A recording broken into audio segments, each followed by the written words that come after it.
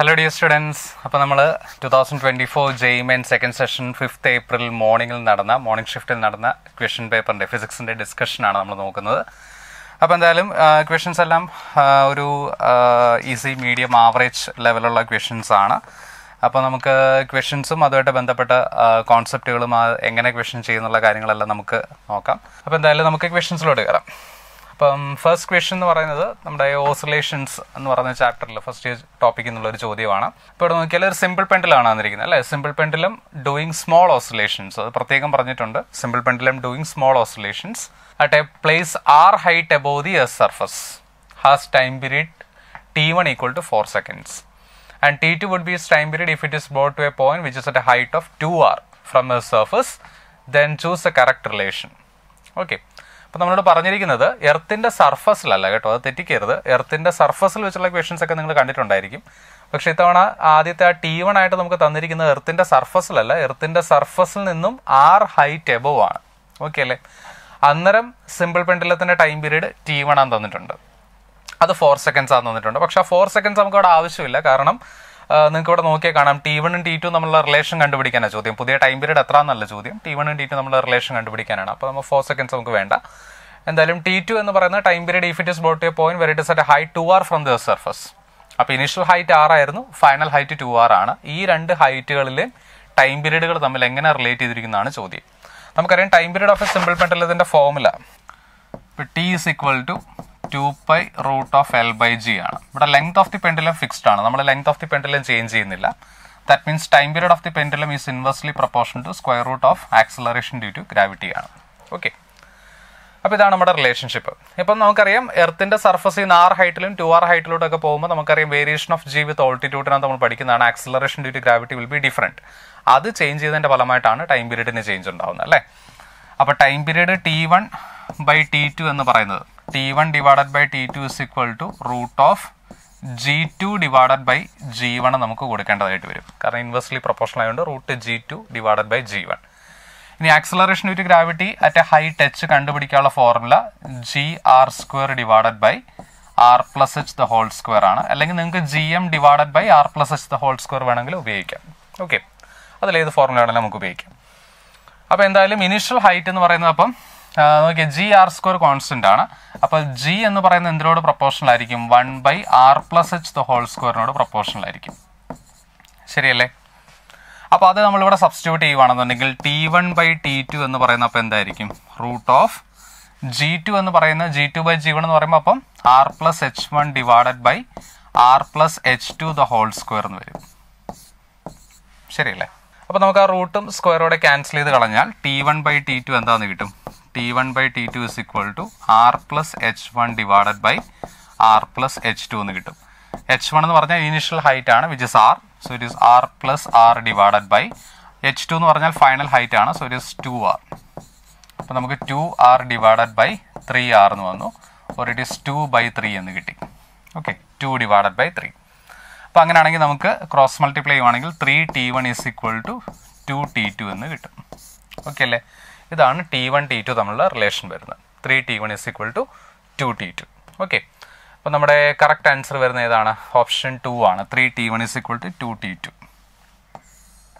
option two ആണ് correct answer വരുന്നത്.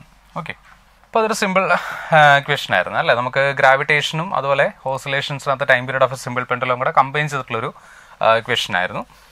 അപ്പോൾ നമുക്ക് സെക്കൻഡ് ക്വസ്റ്റൻ നോക്കുവാണെങ്കിൽ നമുക്ക് സെമി കണ്ടക്ടേഴ്സിൽ നിന്നും ലോജിക് സർക്യൂട്ടിൽ നിന്ന് ചോദിച്ചിരിക്കുന്ന ഒരു ക്വസ്റ്റൻ ആണ്. ഓക്കെ ലോജിക് ഗേറ്റ്സ് എന്നുള്ള.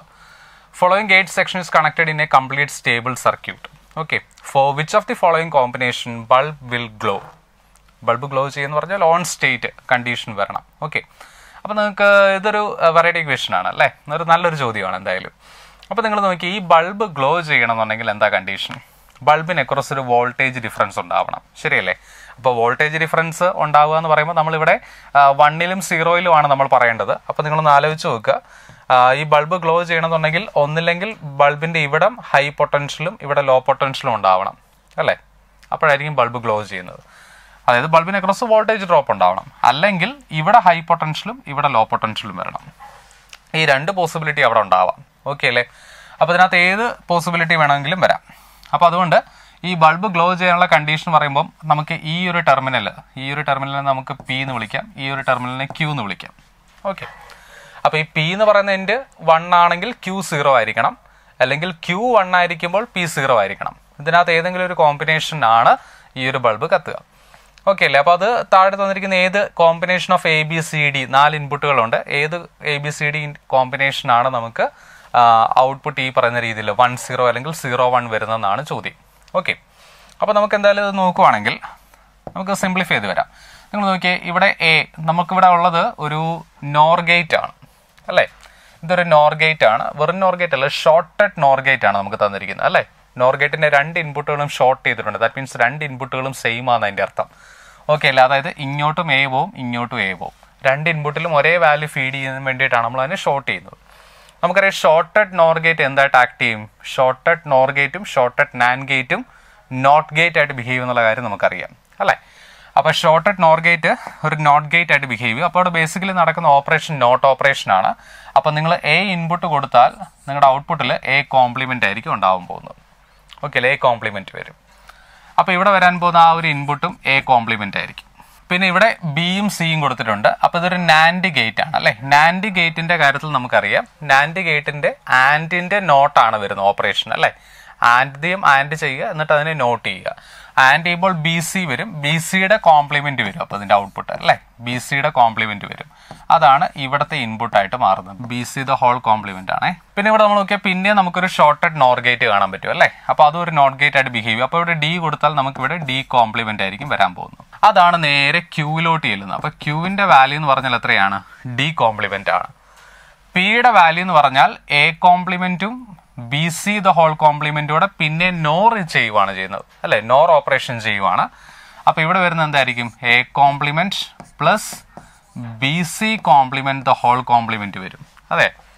നോർ എന്ന് പറഞ്ഞാൽ എന്താ വരുന്നത് ഓർ ഓപ്പറേഷൻ ആദ്യം ചെയ്യുക പിന്നെ നോട്ട് ചെയ്യുക. അല്ലെ? ഓർ പ്ലസ് നോട്ട് ആണ് നമുക്ക് നോർ ഓപ്പറേഷൻ വരുന്നത്. അപ്പൊ A complement or B C complement അതിന്റെ ഹോൾ കോംപ്ലിമെന്റ് വരും. അപ്പൊ പി എന്ന് പറയുന്ന ഇൻപുട്ട് എന്ത് വരും? അപ്പൊ പി എന്ന് പറഞ്ഞാൽ basically P is equal to A complement plus B C the whole complement the whole complement വരും. അപ്പൊ ഡിമോർഗൻസ് ലോ ഉപയോഗിക്കുകയാണെങ്കിൽ നിങ്ങൾ നോക്കി ഇവിടെ രണ്ട് സാധനങ്ങൾ ഓറിന്റെ കോംപ്ലിമെന്റാണ് അല്ലേ? അപ്പോൾ അത് ആൻഡിന്റെ കോംപ്ലിമെന്റിന്റെ പ്രൊഡക്റ്റ് ആയിട്ട് നമുക്ക് എഴുതാൻ പറ്റുമല്ലോ. അപ്പോൾ അങ്ങനെയാണെങ്കിൽ this is A complement complement to B C complement complement എന്ന് വരും.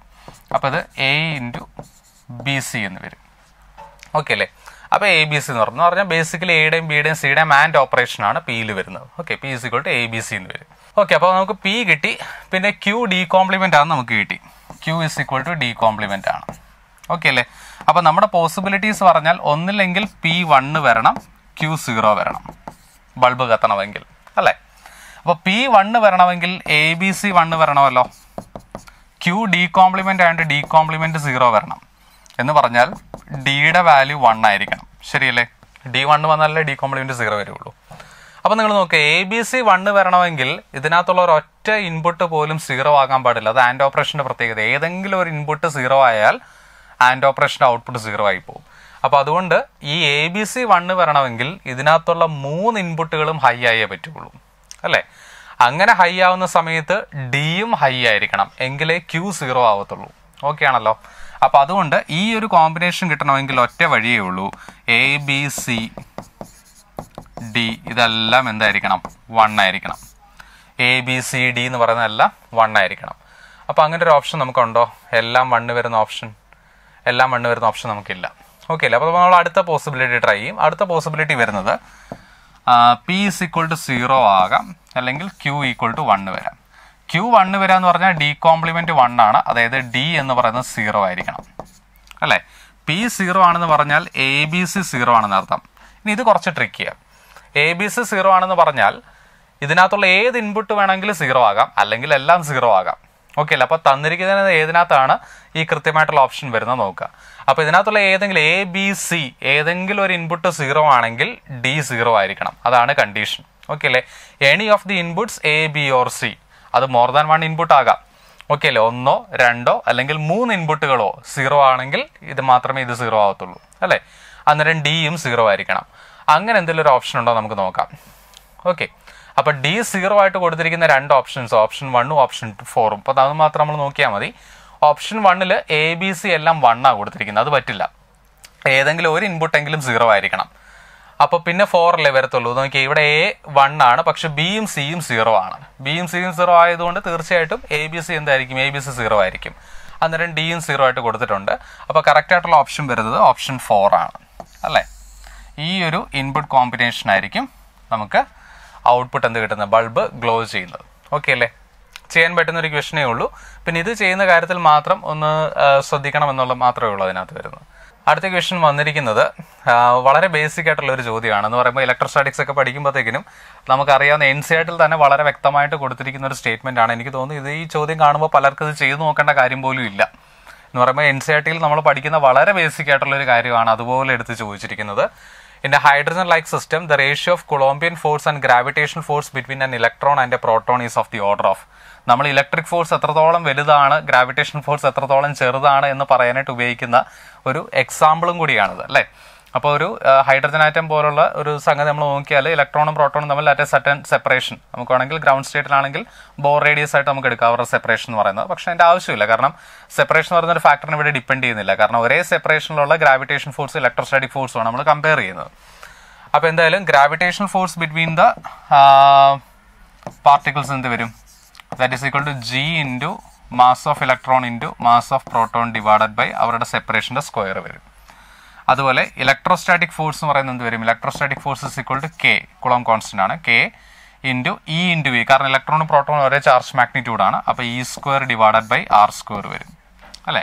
അപ്പോൾ നമുക്ക് റേഷ്യോ ഓഫ് കൊളംബിയൻ ഫോഴ്സ് ആണ് വേണ്ടത്. അപ്പോൾ F E divided by F G ചെയ്യുവാണെങ്കിൽ നിങ്ങൾക്ക് അറിയാണ്ട് അറിയാം. ആർ സ്ക്വയർ ക്യാൻസൽ ആയി പോകും അപ്പോൾ നമുക്ക് K E square divided by G M E into M P നമുക്ക് കിട്ടും. ഓക്കെ അല്ലേ? അപ്പോൾ എന്തായാലും F E divided by F G എന്ന് പറയുന്നത് എന്ത് വരും? നമ്മളോട് ഓർഡർ ഓഫ് മാഗ്നിറ്റ്യൂഡാണ് യോജിച്ചിരിക്കുന്നത് അപ്പോൾ ഓർഡർ ഓഫ് മാഗ്നിറ്റ്യൂഡ് ഞാൻ ചെയ്യുന്നുള്ളൂ. കെ എന്ന് പറയുന്നതിന്റെ value nine into ten raised nine ആണ്. അപ്പോൾ അതിന്റെ order of magnitude ten raised ten വരും. അല്ലേ? ഇന്റു ഇ എന്ന് പറഞ്ഞാൽ one point six into ten raised minus nineteen ആണ്. അപ്പോൾ അതിന്റെ order of magnitude minus nineteen ആണ് വരുന്നത്. ടെൻ റെസ്റ്റ് മൈനസ് നയന്റീൻ അതിന്റെ സ്ക്വയർ എടുക്കുമ്പോൾ ten raised minus thirty eight വരും. അല്ലേ? ഡിവൈഡഡ് ബൈ ജി ജി എന്ന് പറയുന്നത് six point six seven into ten raise to minus eleven order of magnitude minus ten വരും. അപ്പോൾ ten raise to minus ten into mass of electron എന്ന് പറയുന്നത് nine point one into ten raise to minus thirty one kilogram അപ്പോൾ order of magnitude minus thirty വരും. അപ്പം ten raise to minus thirty into പ്രോട്ടോണിന്റെ മാസം one point six seven into ten raise to minus twenty seven kilograms അല്ലേ? അപ്പോൾ അതുകൊണ്ട് order of magnitude minus twenty seven വരും. Okay ആണല്ലോ. അപ്പോൾ നമുക്ക് എന്ത് വരും മേളിൽ so this is ten raise to minus twenty eight divided by ഇവിടെ ഫോർട്ടി വന്നു. Forty plus twenty seven sixty seven വന്നു. അപ്പോൾ ten raise to minus sixty seven വരും. അല്ലേ? അപ്പോൾ തന്നെ നമുക്ക് കിട്ടി ഓർഡർ ഓഫ് മാഗ്നിറ്റ്യൂഡ് വരുന്നത് ten raise to thirty nine times ആണ് വരുന്നത്. അല്ലേ? Ten raise to thirty nine times ആണ്. അതായത് കുളോം ഫോഴ്സ് പറയുന്നത് ഒരു ഗിവൺ സെപ്പറേഷനിൽ കുളോം ഫോഴ്സ് എന്ന് പറയുന്നത് ബിറ്റ്വീൻ ഇലക്ട്രോൺ ആൻഡ് പ്രോട്ടോൺ എന്ന് പറയുന്നത് ten raise to thirty nine times stronger than gravitation force ആണ് വരുന്നത്. ഓക്കെ അപ്പോൾ കറക്റ്റ് ആയിട്ടുള്ള ആൻസർ ഓപ്ഷൻ ടു ആണ്. എനിക്ക് തോന്നുന്നു പലർക്കും ഈ വാല്യൂ അല്ലാതെ തന്നെ അറിയാം. ഓക്കെ അല്ല? അത് പ്രത്യേകിച്ച് ചെയ്ത് നോക്കേണ്ട കാര്യമില്ല. വളരെ ബേസിക് ആയിട്ടുള്ള ഒരു ഫാക്റ്റ് ആയിട്ട് തന്നെ നമുക്ക് അറിയാവുന്ന കാര്യമാണ്. Ten to thirty nine times ആയിരിക്കും എന്നുള്ളത്. ഇപ്പോൾ അടുത്ത ക്വസ്റ്റൻ നോക്കുവാണെങ്കിൽ if G be the gravitation constant and U be the energy density then which of the following quantity have the dimensions as that of root U G അപ്പോൾ അതും ഒരു basic ആയിട്ടുള്ള ഒരു ക്വസ്റ്റൻ ആണ്. നമ്മുടെ യൂഷ്വൽ ഡയമെൻഷണൽ മെത്തേഡ് എന്നുള്ള ചോദ്യമാണ്. അപ്പോൾ റൂട്ട് യു ജിയുടെ ഡയമെൻഷൻ എന്താണെന്നാണ് നമ്മളോട് ചോദിച്ചിരിക്കുന്നത്. സോ ഇത് സ്ക്വയർ റൂട്ട് ഓഫ് യു എന്ന് പറഞ്ഞാൽ energy density energy per unit volume അപ്പോൾ എനർജിയുടെ ഡയമെൻഷൻ നമുക്കറിയാം. M L square T raise to minus two അല്ലേ? ഡിവൈഡഡ് ബൈ വോളിയത്തിന്റെ ഡയമെൻഷൻ നമുക്കറിയാം. എൽ ക്യൂബ് വരും. Universal gravitation constant dimension formula നമുക്കറിയാം. ഇമ്പോർട്ടന്റ് ആണ്. അപ്പോൾ അതെന്ത് വരും? M raise to minus one L cube T raise to minus two വരും. ഓക്കെ അല്ലേ? M raise to minus one L cube T raise to minus two അപ്പോൾ നിങ്ങൾ നോക്കിയാൽ എൽ ക്യൂബ് നമുക്ക് ഇവിടുന്ന് ക്യാൻസൽ ചെയ്യാം. എമ്മും എം റേസ് ടു മൈനസ് വണ്ണും ക്യാൻസൽ ചെയ്യാം. പോയിട്ട് നമുക്ക് എന്ത് കിട്ടി? Equal to root of L square T square T raise to minus two T raise to minus two T raise to minus four ആവും. അപ്പോൾ L square T raise to minus four വന്നു. Okay അല്ലേ? So this will be നമ്മൾ റൂട്ടോടെ എടുത്തു കഴിഞ്ഞാൽ കിട്ടുന്നത് L T raise to minus two ആണ്. ഓക്കെ അല്ലേ? L T raise to minus two നമുക്കറിയാം. ആക്സിലറേഷന്റെ ഡയമെൻഷൻ ആണ് നമുക്ക് കിട്ടുന്നത്. അല്ലെ? ആക്സിലറേഷന്റെ ഡയമെൻഷൻ ആണ്. ആക്സിലറേഷൻ എന്ന് പറഞ്ഞാൽ നമുക്കറിയാം ഫോഴ്സ് പെർ യൂണിറ്റ് മാസ് ആണ് അല്ലേ? ഫോഴ്സ് പെർ യൂണിറ്റ് മാസ് അതുകൊണ്ട് കറക്റ്റ് ആയിട്ടുള്ള ഓപ്ഷൻ വരുന്നത് ഓപ്ഷൻ വൺ ആണ്. ഓക്കെ അപ്പം അതും എളുപ്പമുള്ളൊരു ക്വസ്റ്റൻ ആയിരുന്നു. അല്ലേ? യൂണിറ്റ്സ് ആൻഡ് മെഷർമെന്റ് ചെയ്യുന്നു അപ്പോൾ അടുത്ത ക്വസ്റ്റൻ നമുക്ക് റിജിഡ് ബോഡി ഡൈനാമിക്സ് എന്നൊരു ചോദ്യമാണ്. Ratio of radius of gyration of a hollow sphere to that of a solid cylinder of equal mass for moment of inertia about diameter diameter axis AB as shown in the figure is root 8 by x. The value of x is. Okay അപ്പോൾ നമുക്കിവിടെ ഒരു hollow sphere തന്നിട്ടുണ്ട്. അതുപോലെ നമുക്കൊരു solid cylinder തന്നിട്ടുണ്ട്. അപ്പോൾ രണ്ട് പേരുടെയും റേഡിയസുകൾ സെയിം ആണ് മാസും സെയിം ആണ്. ഓക്കെ അല്ലേ? അങ്ങനെയാണെങ്കിൽ അവരുടെ ചോദിച്ചിരിക്കുന്നത് റേഡിയസ് ഓഫ് ജനറേഷൻ ആണ്. മനസ്സിലായില്ലേ? About the diameter axis A B radius of generation രണ്ടിടത്തെയും എത്രയാണെന്നുള്ളതിന്റെ റേഷ്യോ ആണ് നമുക്ക് കണ്ടുപിടിക്കേണ്ടത്. അപ്പോൾ റേഡിയസ് ഓഫ് ജനറേഷൻ കണ്ടുപിടിക്കാൻ നമുക്കറിയാം. Moment of inertia about that axis എടുക്കുക അല്ലേ? ഡിവൈഡഡ് ബൈ എന്ന് എം ചെയ്ത് കഴിഞ്ഞാൽ നമുക്ക് റേഡിയസ് ഓഫ് ജനറേഷന്റെ സ്ക്വയർ കിട്ടും അല്ലേ? അതായത് ഏതിന്റെ മൊമെന്റ് ഓഫ് ഇനർഷ്യ നമുക്ക് എം കെ സ്ക്വയർ എന്നുള്ള ഫോമിൽ എഴുതാം. കെ ആണ് നമുക്ക് റേഡിയസ് ഓഫ് ജനറേഷൻ വരുന്നത്. അപ്പോൾ ആദ്യം നമുക്ക് ഹോളോസ്പിയർ നോക്കാം. ഹോളോസ്പിയറിന്റെ നമുക്ക് ഓൾറെഡി അറിയാവുന്ന റിസൾട്ടാണ് അല്ലേ? Two by three M R square ആണ് മൊമെന്റ് ഓഫ് ഇനർഷ്യ വരുന്നത്. അപ്പോൾ അവന്റെ മൊമെന്റ് ഓഫ് ഇനർഷ്യ നമുക്ക് ഐ വൺ എന്ന് വിളിക്കാം. ഐ വൺ ഹോളോസ്പിയറിന്റെ മൊമെന്റ് ഓഫ് ഇനർഷ്യ നമുക്ക് ഐ വൺ എന്ന് വിളിക്കാം. ഹോളോസ്പിയറിന്റെ moment of inertia I one എന്ന് വിളിക്കാം. That is given by two by three M R square ആണ് വരുന്നത്. Okay two by three M R square ഇനി നമുക്കുള്ളത് സോളിഡ് സിലിണ്ടർ ആണ്. അപ്പോൾ സോളിഡ് സിലിണ്ടറിന്റെ ഒരു ഫേസിലോടുള്ള ഡയമീറ്റർ ആണ് നമുക്ക് തന്നിരിക്കുന്നത്. ശ്രദ്ധിക്കണം. സോളിഡ് സിലിണ്ടറിന്റെ ഒരു സർക്കുലർ ക്രോസ് സെക്ഷൻ വരുന്ന ഒരു ഫേസിലോടുള്ള ഡയമീറ്ററിലോടുള്ള മൊമെന്റ് ഓഫ് ഇനേഴ്ഷ്യയാണ് സെൻട്രൽ ഡയമീറ്ററിലോടുള്ള അല്ല തന്നിരിക്കുന്നത്. നമുക്ക് പക്ഷേ സെൻട്രൽ ഡയമീറ്ററിലോടുള്ള മൊമെന്റ് ഓഫ് ഇനർഷ്യ എത്ര എന്നറിയാം അല്ലേ? അതായത് ഇങ്ങനെ ഒരു ആക്സസ് നമ്മൾ കൺസിഡർ ചെയ്യുവാണെങ്കിൽ ഇതിലോട്ടുള്ള മൊമെന്റ് ഓഫ് ഇനേർഷ്യ എന്തായിരുന്നു? മൊമെന്റ് ഓഫ് ഇനേർഷ്യ വരുന്നത് M into R square divided by four plus M L square divided by twelve എന്നാണ് വരുന്നത്. ശരിയല്ലേ?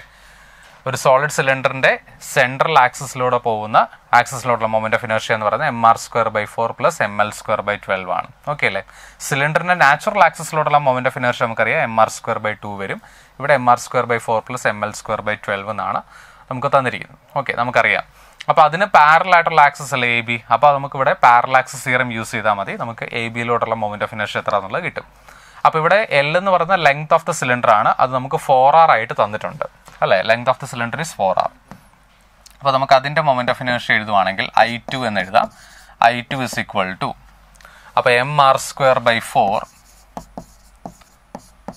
plus M into എല്ലിന് പകരം ഫോർ ആർ അപ്പോൾ four R the whole square by twelve പിന്നെ നമുക്കുള്ളത് നോക്കിയേ ഈ രണ്ട് ആക്സസുകളും തമ്മിലുള്ള സെപ്പറേഷൻ എത്രയാണ്? പെർപെൻഡിക്കുലർ ഡിസ്റ്റൻസ് ടു ആർ അല്ലേ? ലെങ്തിന്റെ പകുതിയാണല്ലോ ടു ആർ അപ്പോൾ പാരലാക്സ് സീറോ ഉപയോഗിക്കുകയാണെങ്കിൽ പ്ലസ് എം ഇന്റു ആ പെർപെൻഡിക്കുലർ ഡിസ്റ്റൻസ് ബിറ്റ്വീൻ ദ പാരലാക്സസുകളുടെ സ്ക്വയർ വരും. അല്ലേ? So I two is equal to M R square by four plus ഇത് സിക്സ്റ്റീൻ വരും. സിക്സ്റ്റീൻ ബൈ ട്വൽവ് എന്ന് പറയുന്നത് നമുക്കറിയാം. ഫോർ വെച്ച് ക്യാൻസൽ ചെയ്യുവാണെങ്കിൽ four M R square by three വരും. Plus four M R square വരും. ഓക്കെ. അപ്പം നമുക്ക് എം ആർ സ്ക്വയർ കോമൺ എടുക്കാം. എന്നിട്ടൊരു ട്വൽവ് എൽ സി എം എടുക്കാം. അപ്പോൾ M R square divided by twelve into നമുക്ക് ത്രീ പ്ലസ് ഇവിടെ ഫോർ ഇട്ട് മൾട്ടിപ്ലൈ ചെയ്ത് സിക്സ്റ്റീൻ പ്ലസ് ഇവിടെ ഫോർട്ടി എയ്റ്റ് വരും. ഓക്കെ അല്ലേ? അപ്പോൾ fifty one sixteen sixty seven വരും. Sixty seven M R square divided by twelve എന്ന് വന്നു. Sixty seven M R square divided by twelve okay അല്ലേ? ഇനിയിപ്പോൾ നമുക്ക് മൊമെന്റ് ഓഫ് ഇനേർഷ്യ എന്ന് പറഞ്ഞാൽ എം കെ സ്ക്വയർ ആണ് അല്ലേ? അപ്പോൾ ഐ വൺ എന്ന് പറയുന്നത് എം കെ വൺ സ്ക്വയർ ആണ്. ഐ ടു എന്ന് പറഞ്ഞാൽ എം കെ ടു സ്ക്വയർ കാരണം രണ്ടുപേരുടെ മാസ് സെയിമാണ് ഓക്കെ അപ്പോൾ അതുകൊണ്ട് K one square by K two square എന്ന് പറയുന്നത് എന്ത് വരും? That is equal to I one divided by I two ആണ്. അപ്പോൾ നമ്മളോട് ചോദിച്ചിരിക്കുന്നത് എന്താ? നമ്മളോട് ചോദിച്ചിരിക്കുന്നത് moment of inertia of hollow sphere to that of solid cylinder ആണ് കണ്ടുപിടിക്കേണ്ടത്. I one K one by K two ആണ് വേണ്ടത്. അപ്പോൾ K one by K two എന്ത് വരും? നമുക്ക് ഐ വണ്ണിന്റെ ഐ ടുവിന്റെ വാല്യൂ കൊടുക്കാം. ഐ വൺ ഐ വൺ നമുക്ക് two by three M R square ആണ്. അല്ലേ? Two by three M R square divided by I two എന്ന് പറയുന്നത് എന്തായിരുന്നു? I two sixty seven by twelve M R square ഇപ്പം M R square നമുക്ക് cancel ചെയ്യാം. So this is two by three into twelve divided by sixty seven വരും. അപ്പോൾ three twelve ആയിട്ട് നമുക്ക് ഫോർ വരും. So it is eight divided by sixty seven എന്ന് വരും. അപ്പോൾ K one by K two എന്തായിരിക്കും? K one by K two is root of eight divided by sixty seven വരും. അപ്പോൾ നമുക്ക് തന്നിരിക്കുന്ന root of eight divided by X എന്നായിരുന്നു. അപ്പോൾ എക്സിന്റെ വാല്യൂ എത്രയാണ്? എക്സിന്റെ വാല്യൂ സിക്സ്റ്റി സെവൻ ആണ് വരുന്നത്. അപ്പോൾ കറക്റ്റ് ആൻസർ വരുന്നത് ഓപ്ഷൻ വൺ ആണ്. അപ്പോൾ ഒന്ന് ശ്രദ്ധിച്ച് ചെയ്യേണ്ട ഒരു ചോദ്യമേ ഉള്ളൂ. പക്ഷെ ഓൾറെഡി അറിയുന്ന റിസൾട്ട് എന്നുള്ളൊരു ചോദ്യമാണ്. ബേസിക് മൊമെന്റ് ഓഫ് ഇനേഷ്യ കാൽക്കുലേഷൻ അല്ലെ റേഡിയസ് ഡയറക്ഷന്റെ കാൽക്കുലേഷൻ എന്നുള്ളൊരു ചോദ്യമായിരുന്നു. ഓക്കെ മ്യൂച്വൽ ഇൻഡക്ടൻസ് അതായത് ഇൻഡക്ഷൻ എ സി എന്നുള്ളൊരു ക്വസ്റ്റൻ ആണ്. ഇലക്ട്രോമാഗ്നറ്റിക് ഇൻഡക്ഷൻ ഒരു ചോദ്യമാണ്. Two conducting circular loops A and B are placed in the same plane with the centres coinciding as shown in figure the mutual inductance between the മീസ് basically എല്ലാവരും എല്ലാവർക്കും answer ചെയ്യാൻ പറ്റുന്നതാണ്. നമ്മൾ പഠിക്കുന്ന ഒരു കോൺഫിഗറേഷൻ കൂടിയാണ്. രണ്ട് കോൺസെൻട്രിക് കോപ്ലൈനാർ കോയിൽസ് ഉണ്ടാക്കുന്ന മ്യൂച്വൽ ഇൻഡക്ടൻസ് എത്ര എന്നുള്ളത്. അപ്പോൾ മ്യൂച്വൽ ഇൻഡക്ടൻസിന്റെ കാൽക്കുലേഷൻ നമുക്കിപ്പം ലാർജർ കോയിലിൽ കൂടെ കറണ്ട് പോകുന്നു എന്ന് അസ്യൂം ചെയ്യാം. അതുമൂലം സ്മോളർ കോയിൽ ഒരു ഫ്ലക്സ് ഉണ്ടാവും. അപ്പോൾ ആ ഫ്ലക്സിന്റെ value divided by current through the other coil flux through one coil divided by current flowing through the other coil അതാണ് മ്യൂച്വൽ ഇൻഡക്ടൻസ് കാൽക്കുലേറ്റ് ചെയ്യാനുള്ള ഫോർമുല അപ്പോൾ നമുക്ക് അസ്യൂം ചെയ്യാം. ഈ ഒരു കോയിലിൽ കൂടെ ഒരു ഐ കറണ്ട് ഫ്ലോ ചെയ്യുന്നുണ്ടെന്ന് വിചാരിക്കുക അപ്പോൾ അതൊരു മാഗ്നറ്റിക് ഫീൽഡ് ഉണ്ടാക്കും. ആ മാഗ്നറ്റിക് ഫീൽഡ് ലൈൻസ് എ എന്ന് പറയുന്ന കോയിലൂടെ കടന്നു പോകുന്നുണ്ട്. അപ്പോൾ അതിന് അതിനകത്തൊരു മാഗ്നറ്റിക് ഫ്ലക്സ് ഉണ്ടാവും. അപ്പോൾ എയിൽ ബി ഉണ്ടാക്കുന്ന മാഗ്നറ്റിക് ഫ്ലക്സ് ഡിവൈഡഡ് ബൈ ബിയിലൂടെ പോകുന്ന കറണ്ട് അതാണ് മ്യൂച്വൽ ഇൻഡക്റ്റൻസ് ആയിട്ട് നമ്മൾ എടുക്കുക അപ്പോൾ ഈ കേസിൽ നമുക്ക് എം എന്ന് പറയുന്നത് എന്ത് വരും? M is equal to the flux through A divided by current through B ആണ് നമ്മൾ എടുക്കുന്നത്. ഇനി എയിലോടുള്ള ഫ്ലക്സ് എന്ന് പറഞ്ഞാൽ എയിൽ ആരാ ഫീൽഡ് ഉണ്ടാക്കുന്നത് ബി ആണ് ഫീൽഡ് ഉണ്ടാക്കുന്നത്. മനസ്സിലായല്ലോ? ബി ആണ് ഫീൽഡ് ഉണ്ടാക്കുന്നത്. അപ്പോൾ അതുകൊണ്ട് ഫീൽഡ് ഡ്യൂ ടു ബി ആണ്. ഇന്റു ആരുടെ ഏരിയ കൂടെയുള്ള നമ്മൾ നോക്കുന്നത് ഏരിയ സ്മോളർ കോയിലിൽ കൂടെയുള്ളതാണ്. അപ്പോൾ cross section area of A divided by I B എന്ന് വരും. ഓക്കെ ഐ ബി അപ്പോൾ നമുക്ക് വാല്യൂസ് എല്ലാം കൊടുക്കാം. അപ്പോൾ M is equal to B എന്ന് പറയുന്നത് എന്താണ്? കോയിൽ ബി ഉണ്ടാക്കുന്ന മാഗ്നറ്റിക് ഫീൽഡ് ഒരു സർക്കുലർ കോയിൽ അതിന്റെ സെൻട്രൽ ഉണ്ടാക്കുന്ന മാഗ്നറ്റിക് ഫീൽഡ് നമുക്കറിയാം. Mu zero I by two R ആണ് വരുന്നത് അല്ലേ? Mu zero I by two R so it is mu zero I divided by two into അതിന്റെ radius വരുന്നത് ബി ആണ്. ഇന്റു ക്രോസ് സെക്ഷൻ ഏരിയ എന്ത് വരും? ഏരിയ എന്ന് പറയുന്നത് പൈ ആർ സ്ക്വയർ ആണ്. അപ്പോൾ ഇവിടെ പൈ എ സ്ക്വയർ വരും ഡിവൈഡഡ് ബൈ ഐ എന്ന് വരും. പൈ നമുക്ക് ക്യാൻസൽ ചെയ്യാം. So it is pi mu zero A square divided by two B എന്ന് വരും.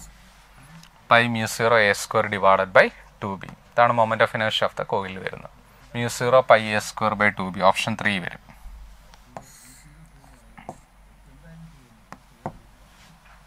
ഇപ്പം അടുത്തത് in a straight cable the central conductor and the outer conductor carry equal currents in opposite directions the magnetic field is zero എവിടെയാണ് magnetic field zero എന്നാണ് നമ്മൾ ചോദിച്ചിരിക്കുന്നത്.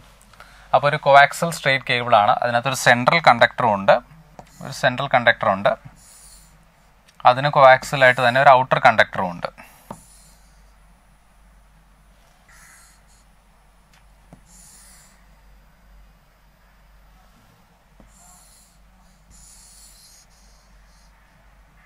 Okay ഒരു outer കണ്ടക്ടറും ഉണ്ട്. And they carry currents in opposite directions പറയുന്നുണ്ട്. Suppose central conductor current മേളിലോട്ടാണ് carry ചെയ്യുന്നത് വിചാരിക്കുക. ഓക്കെ ഈക്വൽ കറൻസ് ആണ് രണ്ടുപേരും ക്യാരി ചെയ്യുന്നത് and they carry currents in opposite direction outer കണ്ടക്ടറിലൂടെ current താഴേക്കാന്ന് വിചാരിക്കും. ഓക്കെ അല്ലേ? ഐ തന്നെ. അങ്ങനെയാണെങ്കിൽ മാഗ്നറ്റിക് ഫീൽഡ് സീറോ ആവുന്ന എവിടെ നിന്നാണെന്നാണ് ചോദ്യം. ഓക്കെ അപ്പോൾ എന്തായാലും നമുക്കിത് ബേസിക്കലി ആംബിയ സർക്യൂട്ടിലൂടെ ഒരു ആപ്ലിക്കേഷനായിട്ട് ചോദിച്ചിരിക്കുന്നതാണ് അല്ലേ? അപ്പം നമുക്ക് തന്നിരിക്കുന്ന കോൺഫിഗറേഷൻ ഇതാണ്. ഇനിയിപ്പോൾ നമ്മളോട് ചോദിച്ചിരിക്കുന്നത് എവിടെ മാഗ്നറ്റിക് ഫീൽഡ് സീറോ ആവുമെന്നാണ്. അപ്പോൾ നമ്മൾ ഇൻസൈഡ് ദി ഔട്ടർ കണ്ടക്ടർ നോക്കുവാണ്. ഇൻസൈഡ് ദി ഔട്ടർ കണ്ടക്ടർ അപ്പോൾ ഔട്ടർ കണ്ടക്ടറിന്റെ അകത്തുള്ള ഒരു പോയിന്റ് ആണ് നമ്മൾ ചോദിച്ചിരിക്കുന്നത് അപ്പോൾ ഔട്ടർ കണ്ടക്ടറിന്റെ അകത്തെന്ന് പറയുമ്പം നമ്മളിവിടെ ആംപിയേഴ്സ് ലോ ആണ് നമ്മൾ യൂസ് ചെയ്യുന്നത്. അല്ലേ? അപ്പോൾ ഔട്ടർ കണ്ടക്ടറിന്റെ അകത്തെന്ന് പറയുമ്പോഴത്തേക്കിനും നമുക്ക് ഇങ്ങനെ ഒരു ലൂപ്പ് എടുക്കാം. അതായത് ഇപ്പോൾ ഏതാണ്ട് ഈ ഒരു പോയിന്റ് എടുക്കാം. അപ്പോൾ ആ ഒരു പോയിന്റ് എടുത്തു കഴിഞ്ഞാൽ തീർച്ചയായിട്ടും അവിടെ ഒരു കറണ്ട് എൻക്ലോസ് ചെയ്യുന്നുണ്ട്. കറണ്ട് എൻക്ലോസ് ചെയ്യുന്നതിന്റെ ഫലമായിട്ട് ആ ഒരു പോയിന്റിൽ മാഗ്നറ്റിക് ഫീൽഡ് എന്തായാലും ഉണ്ടാവും. ഓക്കെ അല്ലേ? കാരണം മാഗ്നറ്റിക് ഫീൽഡ് സീറോ ആകണമെന്നുണ്ടെങ്കിൽ എൻക്ലോസ്ഡ് കറണ്ട് സീറോ ആയിരിക്കണം. ഇൻ ബിറ്റ്വീൻ ദ ടു കണ്ടക്ടേഴ്സും പോസിബിൾ അല്ല. കാരണം ബിറ്റ്വീൻ ദ ടു കണ്ടക്ടേഴ്സ് നമ്മളൊരു പോയിന്റ് എടുക്കുവാണെങ്കിൽ അപ്പോൾ ആ പോയിന്റിലൂടെ കടന്നു പോകുന്ന ഒരു ആംപീരിയൻ ലൂപ്പ് നമുക്ക് കൺസിഡർ ചെയ്യാൻ പറ്റും. So that can also enclose a current അല്ലേ? അപ്പോൾ അവിടെ ഒരു കറണ്ട് എൻക്ലോസ് ചെയ്യപ്പെടുന്നുണ്ട്. അപ്പോൾ അതുകൊണ്ട് ഈ ഒരു പോയിന്റിലെ മാഗ്നറ്റിക് ഫീൽഡ് നമുക്ക് സീറോ എന്ന് പറയാൻ പറ്റില്ല. അപ്പോൾ ബിറ്റ്വീൻ ദ കണ്ടക്ടേഴ്സ് വരില്ല. Inside the inner conductor inner കണ്ടക്ടറിന്റെ ഇൻസൈഡിൽ എന്തായാലും വരില്ല. കാരണം ഇന്നർ കണ്ടക്ടറിന് ഇൻസൈഡിലും ഒരു കറണ്ട് എൻക്ലോസ് ചെയ്യുന്നുണ്ട്. അപ്പോൾ അവിടെ മാഗ്നറ്റിക് ഫീൽഡ് സീറോ ആവില്ല. പിന്നുള്ള ഔട്ട്സൈഡ് ദ കേബിൾ അതേ ഉള്ളൂ. പിന്നെ വരുന്ന ഒരു പോസിബിലിറ്റി അപ്പോൾ ഔട്ട്സൈഡ് ദ കേബിൾ നമ്മൾ നോക്കണം എന്നുണ്ടെങ്കിൽ അപ്പം ഈ ഒരു പോയിന്റ് എടുക്കുമെന്ന് വിചാരിക്കാം. ഓക്കെ ഔട്ട്സൈഡ് ദ കേബിൾ അപ്പോൾ ആ ഒരു പോയിന്റ് നമ്മൾ എടുത്തു കഴിഞ്ഞാൽ അവിടെ രണ്ട് പേരും ഉണ്ടാക്കുന്ന മാഗ്നറ്റിക് ഫീൽഡുകൾ എന്താവാം? രണ്ടുപേരുടെയും കറണ്ട് എൻക്ലോസ് നമ്മൾ നോക്കുകയാണെന്നുണ്ടെങ്കിൽ ഒരാൾ എൻക്ലോസ് ചെയ്യുന്ന കറണ്ടും മറ്റേ എൻക്ലോസ് ചെയ്യുന്ന കറണ്ടും ഓപ്പോസിറ്റ് ആണ്. അത് ഒരേ മാഗ്നിറ്റ്യൂഡ് ആണ്. അതുകൊണ്ട് net current enclose to zero വരും നമുക്കറിയാം. അല്ലേ? അപ്പോൾ അതുകൊണ്ട് magnetic field at the point P എന്ന് പറയുന്നത് എന്തായിരിക്കും? അത് സീറോ ആയിരിക്കും. ഓക്കെ അപ്പോൾ അതുകൊണ്ട് ഇവിടെ കറക്റ്റ് ഓപ്ഷൻ വരുന്ന. ഓപ്ഷൻ ഫോർ ആണ്. ഔട്ട്സൈഡ് ദ കേബിൾ വരും. അപ്പോൾ അടുത്തത് light emerges out of a convex lens when source of light kept at is focus the shape of the wave front of the light is അപ്പോൾ നമുക്കൊരു convex ലെൻസിന്റെ പുറത്തേക്ക് light emerge ചെയ്യുന്നത് emerging ലൈറ്റിന്റെ wave front എന്താണെന്നാണ് ചോദിച്ചിരിക്കുന്നത്. നമ്മൾ സോഴ്സിനെ വെച്ചിരിക്കുന്നത് ഫോക്കസിലാണ് പിന്നെ എളുപ്പമുണ്ട്. നമുക്ക് ഒരു കോൺവെക്സ് ലെൻസ് കൺസിഡർ ചെയ്യാം. ഓക്കെ ഒരു കോൺവെക്സ് ലെൻസ് കൺസിഡർ ചെയ്യാം. അപ്പോൾ അതിന്റെ ഫോക്കസിലായിട്ട് ഓക്കെ അതിന്റെ ഫോക്കസിലായിട്ട് നമ്മളൊരു സോഴ്സ് വെച്ചിരിക്കുന്നു ഒരു ലൈറ്റ് സോഴ്സ് അപ്പോൾ ഇവിടെയാണ് ലൈറ്റ് സോഴ്സ് ഇരിക്കുന്നത് വിചാരിക്കും ഇത് അതിന്റെ ഫോക്കസാണ് അപ്പോൾ ഫോക്കസിൽ കൊണ്ട് നമ്മളൊരു സോഴ്സിനെ വെച്ച് നമുക്കറിയാം ഇവിടെ നിന്ന് വരുന്ന ലൈറ്റ് എന്ന് പറയുന്നത് പാരലായിട്ട് ഡൈവേർജ് പ്രിൻസിപ്പൽ ആക്സസിന്റെ പാരലായിട്ട് ഡൈവേർജ് ചെയ്ത് പോകത്തുള്ളൂ അല്ലേ? അപ്പോൾ അതുകൊണ്ട് നമ്മൾ ആ റേസ് വരയ്ക്കുവാണെങ്കിൽ ഇവിടെ നിന്ന് വരുന്ന റേസ് ലെൻസിലൂടെ പോകുമ്പോഴത്തേക്കിനും അത് പാരലൽ ബീമായിട്ട് മാറും. ഫോക്കൽ ലെങ്തിലൂടെ നമ്മൾ സോഴ്സിനെ വെച്ചിരിക്കുന്ന കാരണം. അപ്പം ഇങ്ങനെ പാരലായിട്ട് പോകും. ഓക്കെ അല്ലേ? അതെല്ലാവർക്കും അറിയാവുന്ന കാര്യമാണ്. അപ്പോൾ ഈ പാരലായിട്ട് പോകുന്ന ഈ ഒരു ബീമിന്റെ വേവ് ഫ്രണ്ട് എന്താണെന്ന് നമുക്കറിയാം പാരാക്സൽ റേസ് ആയിട്ടാണ് വരുന്നത് അല്ലെ? പാരൽ റേസ് ആയിട്ടാണ് വരുന്നത്. അതുകൊണ്ട് നമുക്ക് വേവ് ഫ്രണ്ട് എന്ന് പറഞ്ഞാൽ പ്ലെയിനാർ വേവ് ഫ്രണ്ട് ആയിരിക്കും വരുന്നത് അല്ലേ? അപ്പോൾ ഇവിടെ നിന്ന് വരുന്ന സ്പേറിക്കൽ വേവ് ഫ്രണ്ട് എന്ന് പറയുന്നത് ഇവിടെ എത്തുമ്പോഴത്തേക്കിനും പ്ലെയിനാർ വേവ് ഫ്രണ്ടുകളായിട്ട് മാറും. ഓക്കെ അപ്പോൾ പ്ലെയിനാർ വേവ് ഫ്രണ്ട് ആണ് നമ്മുടെ ആൻസർ വരുന്നത്.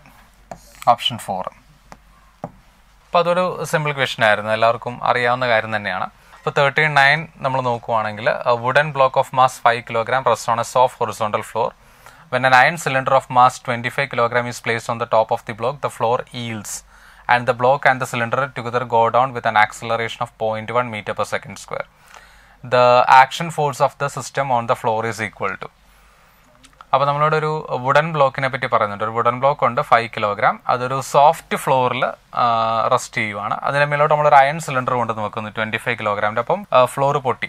ഓക്കെ അല്ലേ? ഫ്ലോർ ഈൽഡ് ചെയ്യുന്നു. And they together go down with an acceleration point one metre per second square അപ്പോൾ ആ ഒരു സമയത്ത് പൊട്ടിയ സമയത്ത് അവർ താഴേക്ക് പോയ acceleration point one metre per second square ഒറ്റയടിക്ക് ഇല്ലാണ്ടാവുമല്ല ചെയ്യുന്നത്. ഫ്രീ ഫോൾ ആണെന്ന് വിചാരിക്കരുത്. ഒറ്റയടിക്ക് ഇല്ലാണ്ടാവുമല്ല ഫ്ലോർ ബ്രേക്കായി അവർ താഴേക്ക് പോയ acceleration point one metre per second square ആണ്. അങ്ങനെയാണെങ്കിൽ ആ സിസ്റ്റം ഫ്ലോറിൽ എക്സേർട്ട് ചെയ്ത നോർമൽ റിയാക്ഷൻ എത്ര ചോദ്യം എന്ന് പറയുമ്പോൾ that is equal and opposite the normal reaction exerted by the floor back on the system ശരിയല്ലേ?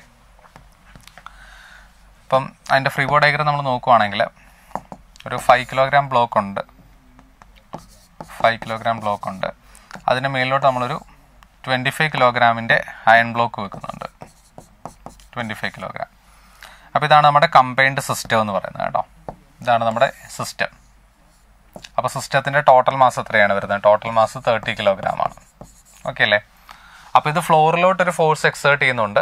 അതേ ഫോഴ്സ് തന്നെ ഫ്ലോർ തിരിച്ചു എക്സേർട്ട് ചെയ്യുന്നുണ്ട്. ഓക്കെ അല്ലേ? ആ ഫോഴ്സ് ആണ് നമുക്ക് കണ്ടുപിടിക്കേണ്ടത്. നോർമൽ റിയാക്ഷൻ നോർമൽ റിയാക്ഷൻ മുകളിലോട്ടുണ്ട് ഫ്രം ദ ഫ്ലോർ അത് ആയിട്ട് നമുക്ക് എടുക്കാം. താഴേക്ക് ഗ്രാവിറ്റേഷൻ ഫോഴ്സ് ഉണ്ട്. ഓക്കെ അപ്പോൾ ഗ്രാവിറ്റേഷൻ ഫോഴ്സ് വരുന്നത് എത്രയായിരിക്കും? ഗ്രാവിറ്റേഷൻ ഫോഴ്സ് തേർട്ടി കിലോഗ്രാമിന്റെ ടോട്ടൽ വെയിറ്റ് ആണ് വരുന്നത്. എന്ന് പറയുമ്പോൾ ത്രീ ഹൺഡ്രഡ് ന്യൂട്ടൺ വരും. Gravitation force താഴേക്കുണ്ട്. And the go down with an acceleration point one metre per second square അല്ലേ? അപ്പോൾ നമ്മൾ ഇക്വേഷൻ ഓഫ് മോഷൻ എഴുതുവാണെങ്കിൽ എന്ത് വരും? നെറ്റ് ഫോഴ്സ് താഴേക്കാണ്. അപ്പോൾ അതുകൊണ്ട് net forces given by three hundred minus N വരും. Net downward force three hundred minus N വരും.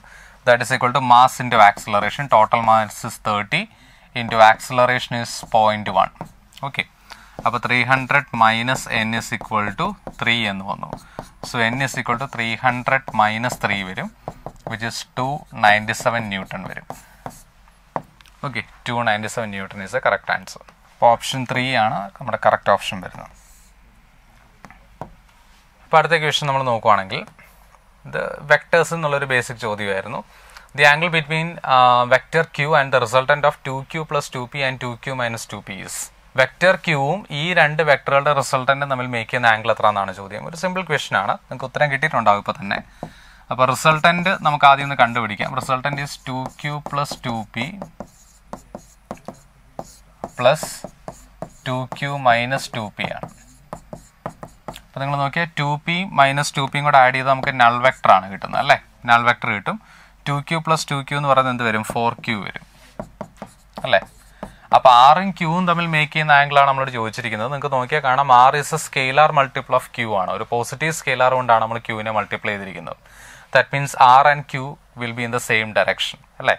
ഇപ്പോൾ രണ്ട് വെക്ടേഴ്സ് ഒരു പോസിറ്റീവ് സ്കെയിലാർ വഴി പ്രൊപ്പോർഷൻ ആണെന്നുണ്ടെങ്കിൽ അവർ ഒരേ ഡയറക്ഷനിലായിരിക്കും നമ്മൾ പഠിച്ചിട്ടുണ്ട്. They will be collinear vectors and will be in the same direction ഇപ്പോൾ അതിന് വരെ ഒരു മൈനസ് ഒരു നെഗറ്റീവ് നമ്പർ ആണ് അവിടെ വന്നിരുന്നെങ്കിൽ നമ്മൾ പറഞ്ഞേനെ ആറും ക്യൂവും ഓപ്പോസിറ്റ് ഡയറക്ഷനിലായിരുന്നു എന്ന് പറഞ്ഞേനെ. ഇപ്പോൾ ഒരു പോസിറ്റീവ് നമ്പർ ഫോർ ആണ് നമുക്ക് വന്നിരിക്കുന്നത്. So R and Q are in the same direction അതുകൊണ്ട് ഒരേ ഡയറക്ഷൻ ആണെങ്കിൽ അവർ തമ്മിൽ മേക്ക് ആംഗിൾ സീറോ ഡിഗ്രി ആയിരിക്കും. Okay so option one is a correct answer ഇപ്പോൾ അടുത്തത് മാത്സ് ഫോളോയിങ് ആണ്. ഗ്രാവിറ്റേഷൻ എന്നുള്ളൊരു ചോദ്യമാണ്. അപ്പോൾ കൈനറ്റിക് എനർജി ഓഫ് പ്ലാനറ്റ് നമുക്ക് ഇവിടെ തന്നിരിക്കുന്ന എ എന്ന് പറഞ്ഞാൽ radius of the orbit of planet ആണ്. ആർ എന്ന് പറഞ്ഞാൽ റേഡിയസ് ഓഫ് ദ പ്ലാനറ്റ് ആണ്. എം എന്ന് പറഞ്ഞാൽ മാസ് ഓഫ് ദി സൺ ആണ്. ആൻഡ് സ്മോൾ എം എന്ന് പറഞ്ഞാൽ മാസ് ഓഫ് ദി പ്ലാനറ്റ് ആണ്. അപ്പോൾ kinetic energy of the planet അതായത് സണ്ണിന് ചുറ്റിനും പ്ലാനറ്റിൽ ഓർബിറ്റൽ കടന്ന് കറങ്ങുന്നുണ്ട്. അതിന്റെ ഓർബിറ്റൽ കൈനറ്റിക് എനർജി എന്താണെന്ന ചോദ്യം. അപ്പോൾ പ്ലാനറ്റിന്റെ കൈനറ്റിക് എനർജി നമ്മൾ പഠിച്ചിട്ടില്ല എന്ന് പറയരുത്. കാരണം എൻ സി ആർ ടിയിൽ പ്രത്യേകം എടുത്ത് പറയുന്ന ഒരു കാര്യമാണ്. കെപ്ലസ് ലോസ് എങ്ങനെ പ്ലാനറ്റ്സിന് വാലിഡ് ആണോ അതുപോലെ തന്നെ സാറ്റലൈറ്റ്സിന് വാലിഡ് ആണെന്നുള്ള കാര്യം. അല്ലേ? അപ്പോൾ സാറ്റലൈറ്റ്സിന്റെ മോഷനും പ്ലാനറ്റ്സിന്റെ മോഷനെല്ലാം സിമിലർ ആണ്. ഒരേ തിയറി വെച്ചിട്ട് തന്നെയാണ് നമ്മൾ രണ്ടും എക്സ്പ്ലെയിൻ ചെയ്യുന്നത്. അതുകൊണ്ട് സാറ്റലൈറ്റ്സിന്റെ കാര്യത്തിൽ നിങ്ങൾ പഠിച്ചിരിക്കുന്ന kinetic energy total energy potential എനർജിയുടെ ഫോർമുല എല്ലാം പ്ലാനറ്റ്സിനും ബാധകമായിരിക്കും എന്നുള്ള കാര്യം ഓർത്ത് വെക്കുക കേട്ടോ. അപ്പോൾ കൈനറ്റിക് എനർജി ഓഫ് പ്ലാനറ്റ് എന്ന് പറഞ്ഞാൽ ബേസിക്കലി കൈനറ്റിക് എനർജി സാറ്റലൈറ്റ് നിങ്ങൾ ചിന്തിച്ചാൽ മതി. അതെന്താ വരുന്നത് formula G M m by two a ആണ് വരുന്നത് അല്ലേ? G M m by two a a match ചെയ്യുന്നത് ടു ആയിട്ടാണ് gravitational potential energy sun planet system gravitation potential എനർജിയുടെ ഫോർമുല എന്താ minus G M m by a ആണ് വരുന്നത്. അപ്പോൾ അവിടെ വണ്ണുമായിട്ട് മാച്ച് ആവും. ഇനി total mechanical energy of the planet നമുക്കറിയാം total energy of satellite minus G M m by two R ആണ് വരുന്നത് അല്ലേ? അപ്പോൾ ടോട്ടൽ മെക്കാനിക്കൽ എനർജി വരുന്നത് എന്ത് വരും? Minus G M m by two a എന്നുള്ളതാണ് വരുന്നത്. And escape energy at the surface of a planet for unit mass escape energy at the surface of the planet for unit mass പ്ലാനറ്റിന്റെ സർഫസിൽ നിന്നുള്ള escape എനർജിയാണ് ചോദ്യം. അല്ലേ? പ്ലാനറ്റിന്റെ സർഫസിൽ നിന്നുള്ള escape speed എത്ര നമുക്കറിയാം. That is given by root two G mass of the planet divided by radius of the planet ആണ് വരുന്നത്. ഓക്കെ അല്ലേ? അപ്പോൾ ഇവിടെ ക്യാപിറ്റലും എഴുതി തെറ്റിക്കരുത്. വേറൊരു ഓപ്ഷൻ പിന്നെ അതേ നമുക്ക് വരാനായിട്ടുള്ളൂ എന്നാൽ പോലും two G M divided by R എന്ന് കാരണം ഇവിടെ സ്മോൾ എം ആണ് പ്ലാനറ്റിന്റെ മാസ് ആയിട്ട് തന്നിരിക്കുന്നത് ആർ ആണ് പ്ലാനറ്റിന്റെ റേഡിയസ് ആയിട്ട് തന്നിരിക്കുന്നത് അപ്പോൾ അതിന്റെ എസ്കേപ്പ് കൈനറ്റിക് എനർജി എന്ന് പറഞ്ഞാൽ ഹാഫ് എം ഇന്റു എസ്കേപ്പ് വെലോസിറ്റിയുടെ സ്ക്വയർ ചെയ്താൽ മതി അല്ലേ? അപ്പോൾ നമുക്ക് എന്ത് വരും? അപ്പോൾ യൂണിറ്റ് മാസിന്റെ കാര്യം പറഞ്ഞിരിക്കുന്നത്. യൂണിറ്റ് മാസ് ആയതുകൊണ്ട് നമുക്ക് എം ഡാഷിന്റെ വാല്യൂ വൺ എന്ന് കൊടുക്കാം. അപ്പോൾ half into v e square വരും. അപ്പം എസ്കേപ്പ് എനർജി വരുന്നത് half into v square two G M by R ആണ് അല്ലേ? അപ്പോൾ നമുക്ക് എന്ത് കിട്ടി? G M divided by R എന്ന് കിട്ടി. അപ്പോൾ അത് ഡി യു ആയിട്ടാണ് മാച്ച് ആവുന്നത്. ഓക്കെ ഡി ത്രീ യു ആയിട്ട് മാച്ച് ആവും.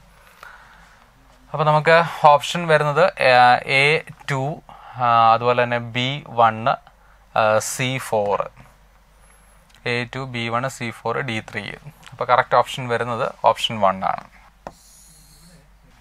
അപ്പോൾ അതും വളരെ ഡയറക്റ്റ് ആയിട്ടുള്ളൊരു ചോദ്യമായിരുന്നു. ഇനിയിപ്പോൾ അടുത്ത് നമുക്ക് dual nature of radiation matter എന്നുള്ളൊരു ക്വസ്റ്റൻ ആണ് ഫോട്ടോ ഇലക്ട്രി എഫക്റ്റ് എന്നുള്ള ഒരു ചോദ്യമാണ്. ഗിവൺ ബിലോ ടു സ്റ്റേറ്റ്മെന്റ്സ് നമുക്ക് സ്റ്റോപ്പിംഗ് പൊട്ടൻഷ്യൽ ഫ്രീക്വൻസി ഗ്രാഫ് തന്നിട്ടുണ്ട്. സ്റ്റേറ്റ്മെന്റ് വണ്ണ് പറയുന്നത് figure shows the variation of stopping potential with frequency for the two photo sensitive materials M one and M two the slope gives a value of h by e where h is a Planck's constant and is a charge of the electron അപ്പോൾ അത് correct ആയിട്ടുള്ള statement ആണ്. അല്ലേ? നമുക്കറിയാം stopping potential versus frequency ഗ്രാഫിന്റെ slope H by E ആയിരിക്കും. അതെല്ലാം മെറ്റീരിയൽസിനും same ആയിരിക്കും എന്നുള്ള കാര്യങ്ങളെല്ലാം നമ്മൾ ഒത്തിരി പഠിച്ചിട്ടുള്ളതാണ്. അപ്പോൾ അതിന് പ്രത്യേകിച്ച് എക്സ്പ്ലനേഷൻ ആവശ്യമൊന്നുമില്ല. ഇപ്പം നമുക്കത് സ്ട്രേറ്റ് ലൈൻ ഗ്രാഫ് ആയിരിക്കും. നമുക്കറിയാം ഈ ഇന്റർസെപ്റ്റ് വരുന്നത് ത്രഷോൾഡ് ഫ്രീക്വൻസി ആയിരിക്കും എന്നുള്ള കാര്യം നമുക്കറിയാം. അല്ലേ? ഈ ഒരു ഇന്റർസെപ്റ്റ് വരുന്ന പോയിന്റ് എന്ന് പറയുന്നത് ത്രഷോൾഡ് ഫ്രീക്വൻസി ആണ്. അപ്പോൾ എന്തായാലും സ്റ്റേറ്റ്മെന്റ് വണ്ണ് കറക്റ്റ് ആണ്. സ്റ്റേറ്റ്മെന്റ് ടു നോക്കുവാണെങ്കിൽ M two will limit photo electrons of greater kinetic energy for the incident radiation having same frequency അതായത് ഒരേ ഫ്രീക്വൻസിലുള്ള റേഡിയേഷൻ നമ്മൾ എം വണ്ണിലും എം ടുവിലും കൊടുക്കുവാണെങ്കിൽ ഏറ്റവും കൂടുതൽ കൈനറ്റിക് എനർജിയുള്ള ഇലക്ട്രോൺസ് പുറത്ത് വരുന്നത് എം ടുവിൽ നിന്നായിരിക്കുമെന്നാണ് സ്റ്റേറ്റ്മെന്റ് ടു പറയുന്നത്. ഓക്കെ നമുക്കറിയാം മാക്സിമം കൈനറ്റിക് എനർജിയുടെ ഫോർമുല ഇൻസിഡന്റ് ഫോട്ടോണിന്റെ എനർജി മൈനസ് വർക്ക് ഫംഗ്ഷൻ ആണ്. ശരിയല്ലേ? അപ്പോൾ വർക്ക് ഫംഗ്ഷൻ ഏറ്റവും കുറവ് വരുന്ന എവിടെയാണ്? For a given frequency of incident photons incident photons രണ്ടിടത്തും വീഴുന്ന ഒരേ ഫ്രീക്വൻസി ഇല്ല അപ്പോൾ എച്ച് നുവിൽ മാറ്റമൊന്നുമില്ല. അപ്പോൾ ആരുടെ ഫൈ ആണോ ഏറ്റവും കുറവ് വരുന്നത്? ആരുടെ വർക്ക് ഫംഗ്ഷൻ ആണോ ഏറ്റവും കുറവ് വരുന്നത്? അവിടെ ആയിരിക്കും ഡിഫറൻസ് കൂടുതൽ വരിക. അപ്പോൾ അവിടെ ആയിരിക്കും കൈനറ്റിക് എനർജി കൂടുതൽ വരിക. നമ്മൾ നോക്കിയാൽ എം ടുവിന്റെ ത്രഷോൾഡ് ഫ്രീക്വൻസി കൂടുതലാണ് എം വണ്ണിനെക്കാട്ടിലും എം ടുവിന്റെ ത്രഷോൾഡ് ഫ്രീക്വൻസി അതായത് ന്യൂ സീറോ ഓഫ് ടു എന്ന് പറയുന്നത് greater than nu zero of one ആണ്. അതുകൊണ്ട് five of two is greater than five of one ആണ് ശരിയല്ലേ? അതുകൊണ്ട് ടുവിന്റെ വർക്ക് ഫംഗ്ഷൻ എം വണ്ണിന്റെ വർക്ക് ഫംഗ്ഷനേക്കാളും കൂടുതലാണ്. അതുകൊണ്ട് വർക്ക് ഫംഗ്ഷൻ ഏറ്റവും കുറവ് വരുന്ന M വണ്ണിനായതുകൊണ്ട് for a given frequency of incident photons ഏറ്റവും കൂടുതൽ കൈനറ്റിക് എനർജി ഉണ്ടാകുന്ന ആർക്കായിരിക്കും? എം വണ്ണിൽ നിന്ന് പുറത്ത് വരുന്ന ഫോട്ടോ ഇലക്ട്രോൺസിനായിരിക്കും അല്ലേ? അപ്പോൾ സ്റ്റേറ്റ്മെന്റ് ടു തെറ്റാണ്. അപ്പോൾ സ്റ്റേറ്റ്മെന്റ് വണ്ണ് കറക്റ്റും സ്റ്റേറ്റ്മെന്റ് ടു ഇൻകറക്റ്റും ഓപ്ഷൻ ത്രീ വരും. ഇപ്പോൾ അടുത്ത ക്വസ്റ്റ്യൻ യൂണിറ്റ് സിന്ന് തന്നെയുള്ള ഒരു ചോദ്യമാണ്. The time periods of oscillation of the same simple pendulum measured using four different measuring clocks were recorded as four point six two four point six three two and four point six and four point six four seconds the arithmetic mean of these readings in the correct significant figures അപ്പോൾ correct significant ഫിഗേഴ്സിൽ നമ്മൾ അതിന്റെ arithmetic മീൻ എടുക്കണം. Arithmetic മീൻ എന്ന് പറയുമ്പോൾ നിങ്ങൾക്കറിയാം ഇതിന്റെ നാലിന് നമ്മൾ ആഡ് ചെയ്യണം. നാല് ട്രയൽ വാല്യൂസ് വന്നിട്ടുണ്ട് നാല് ട്രയൽ വാല്യൂസ് നമ്മൾ ആഡ് ചെയ്യും ഡിവൈഡഡ് ബൈ ഫോർ ചെയ്യും അപ്പോൾ എന്തായാലും അവിടെ ഡിവിഷൻ നമ്മളൊരു ഫോർ വെച്ചിട്ടാണ് ചെയ്യുന്നത്. അതൊരു നമ്പറാണ് അല്ലെ? നമ്പർ ഓഫ് ട്രയൽസ് ആണ്. അപ്പോൾ അതിന്റെ സിഗ്നിഫിക്കന്റ് ഡിജിറ്റ്സ് നമ്മൾ നോക്കേണ്ട കാര്യമില്ല. അപ്പോൾ അഡീഷന്റെ സിഗ്നിഫിക്കൻ ഡിജിറ്റ്സ് എന്താണ് വരുന്നത് എന്നുള്ളത് നമ്മൾ നോക്കിയാൽ മതി. നമുക്കറിയാം രണ്ട് നമ്പേഴ്സ് ആഡ് ചെയ്യുന്ന സമയത്ത് ഏറ്റവും കുറഞ്ഞ ഡെസിമൽ പോയിന്റ് ഉള്ള വാല്യൂ ഏതാണോ അതിന്റെ അതേ സിഗ്നിഫിക്കന്റ് ഫിഗേഴ്സിൽ വേണം അതിന്റെ അതേ ഡെസിമൽ പോയിന്റ്സിൽ വേണം നമ്മൾ ഉത്തരവ് എഴുതാനായിട്ട്. ഓക്കെ അല്ലേ? അപ്പം മൾട്ടിപ്ലൈ ചെയ്യുമ്പോൾ ഡിവൈഡ് ചെയ്യുന്ന സമയത്ത് നമ്മൾ ലീസ്റ്റ് സിഗ്നിഫിക്കന്റ് ഫിഗേഴ്സ് ഉള്ള വാല്യൂ ഏതാണോ അതിന്റെ അതേ നമ്പർ ഓഫ് സിഗ്നിഫിക്കന്റ് ഫിഗേഴ്സിലായിരിക്കും നമ്മൾ ഉത്തരവ് എഴുതുക. ഇവിടെ ആഡ് ചെയ്യുമ്പോഴോ സബ്ട്രാക്ട് ചെയ്യുമ്പോഴോ നമ്മൾ ചെയ്യുന്നത് ലീസ്റ്റ് ഡെസിമൽ പോയിന്റ് അതായത് ലീസ്റ്റഡ് അതിന് അതിനാണ് ലിമിറ്റിംഗ് ടൈം നമ്മൾ പറയുന്നത്. ലിമിറ്റിംഗ് ടൈമിന്റെ ഡെസിമൽ പോയിന്റ് വരുന്ന അതേ ഡെസിമൽ പോയിന്റിൽ വേണം നമ്മൾ ആൻസർ എഴുതാനായിട്ട്. അപ്പോൾ അതിനകത്ത് ഡെസിമൽ പ്ലേസസ് ഏറ്റവും കുറവുള്ളത് ഫോർ പോയിന്റ് സിക്സിനാണ് അവിടെ ഒരു ഡെസിമൽ പോയിന്റ് മാത്രമേ ഉള്ളൂ. അല്ല ഒരു ഡെസിമൽ പ്ലേസിലാണ് ഉത്തരവ് എഴുതിയിരിക്കുന്നത്. അതുകൊണ്ട് നമ്മുടെ ഫൈനൽ റിസൾട്ടിലും ഒരു ഡെസിമൽ പ്ലേസ് മാത്രമേ കാണാൻ പാടുള്ളൂ. അങ്ങനെ വരുന്ന ഒരേ ഒരു ഓപ്ഷൻ ഫസ്റ്റ് ഓപ്ഷൻ മാത്രമാണ്. അപ്പോൾ നിങ്ങൾ വെറുതെ മീനൊന്നും കണ്ടുപിടിക്കേണ്ട ആവശ്യമില്ല. അപ്പോൾ അപ്പോൾ നമുക്ക് ഉത്തരം കിട്ടി. ഫോർ പോയിന്റ് സിക്സ് സെക്കൻഡ്സ് വരും. അപ്പോൾ അടുത്തത് question number forty four the heat absorbed by a system going through the given cyclic processes അപ്പോൾ ഇവിടെ ഈ ഒരു സിസ്റ്റം അബ്സോർബ് ചെയ്യുന്ന നെറ്റ് ഹീറ്റ് എത്ര എന്നുള്ളതാണ് നമ്മൾ ചോദിച്ചിരിക്കുന്നത്. അപ്പോൾ നമുക്കിവിടെ സത്യം പറഞ്ഞാൽ ഇത് യൂണിറ്റ് അങ്ങോട്ടും ഇങ്ങോട്ടും തിരിഞ്ഞു പോയിട്ടുണ്ട്. അപ്പോൾ ഇവിടെ നമുക്ക് പ്രഷർ വരുന്നത് കിലോ പാസ്കലിലും വോളിയം വരുന്നത് ക്യൂബിക് സെന്റിമീറ്ററിലുമാണ് എനിവേ നമുക്ക് നോക്കാം. അപ്പോൾ ഹീറ്റ് എപ്പിസോഡ് കണ്ടുപിടിക്കണം. അപ്പോൾ നമ്മൾ ആ സൈക്ലിക് പ്രോസസ്സ് ഫുള്ളായിട്ട് കൺസിഡർ ചെയ്യുവാണെന്നുണ്ടെങ്കിൽ ആ change in internal energy during a single cycle zero ആയിരിക്കും. കാരണം തുടങ്ങിയ പോയിന്റിൽ തന്നെ സ്റ്റേറ്റിൽ തന്നെ തിരിച്ചെത്തുന്നത് കാരണം change in internal energy zero ആയിരിക്കും. Because internal energy is a state variable എന്നുള്ള കാര്യം നമുക്കറിയാം. അല്ലേ?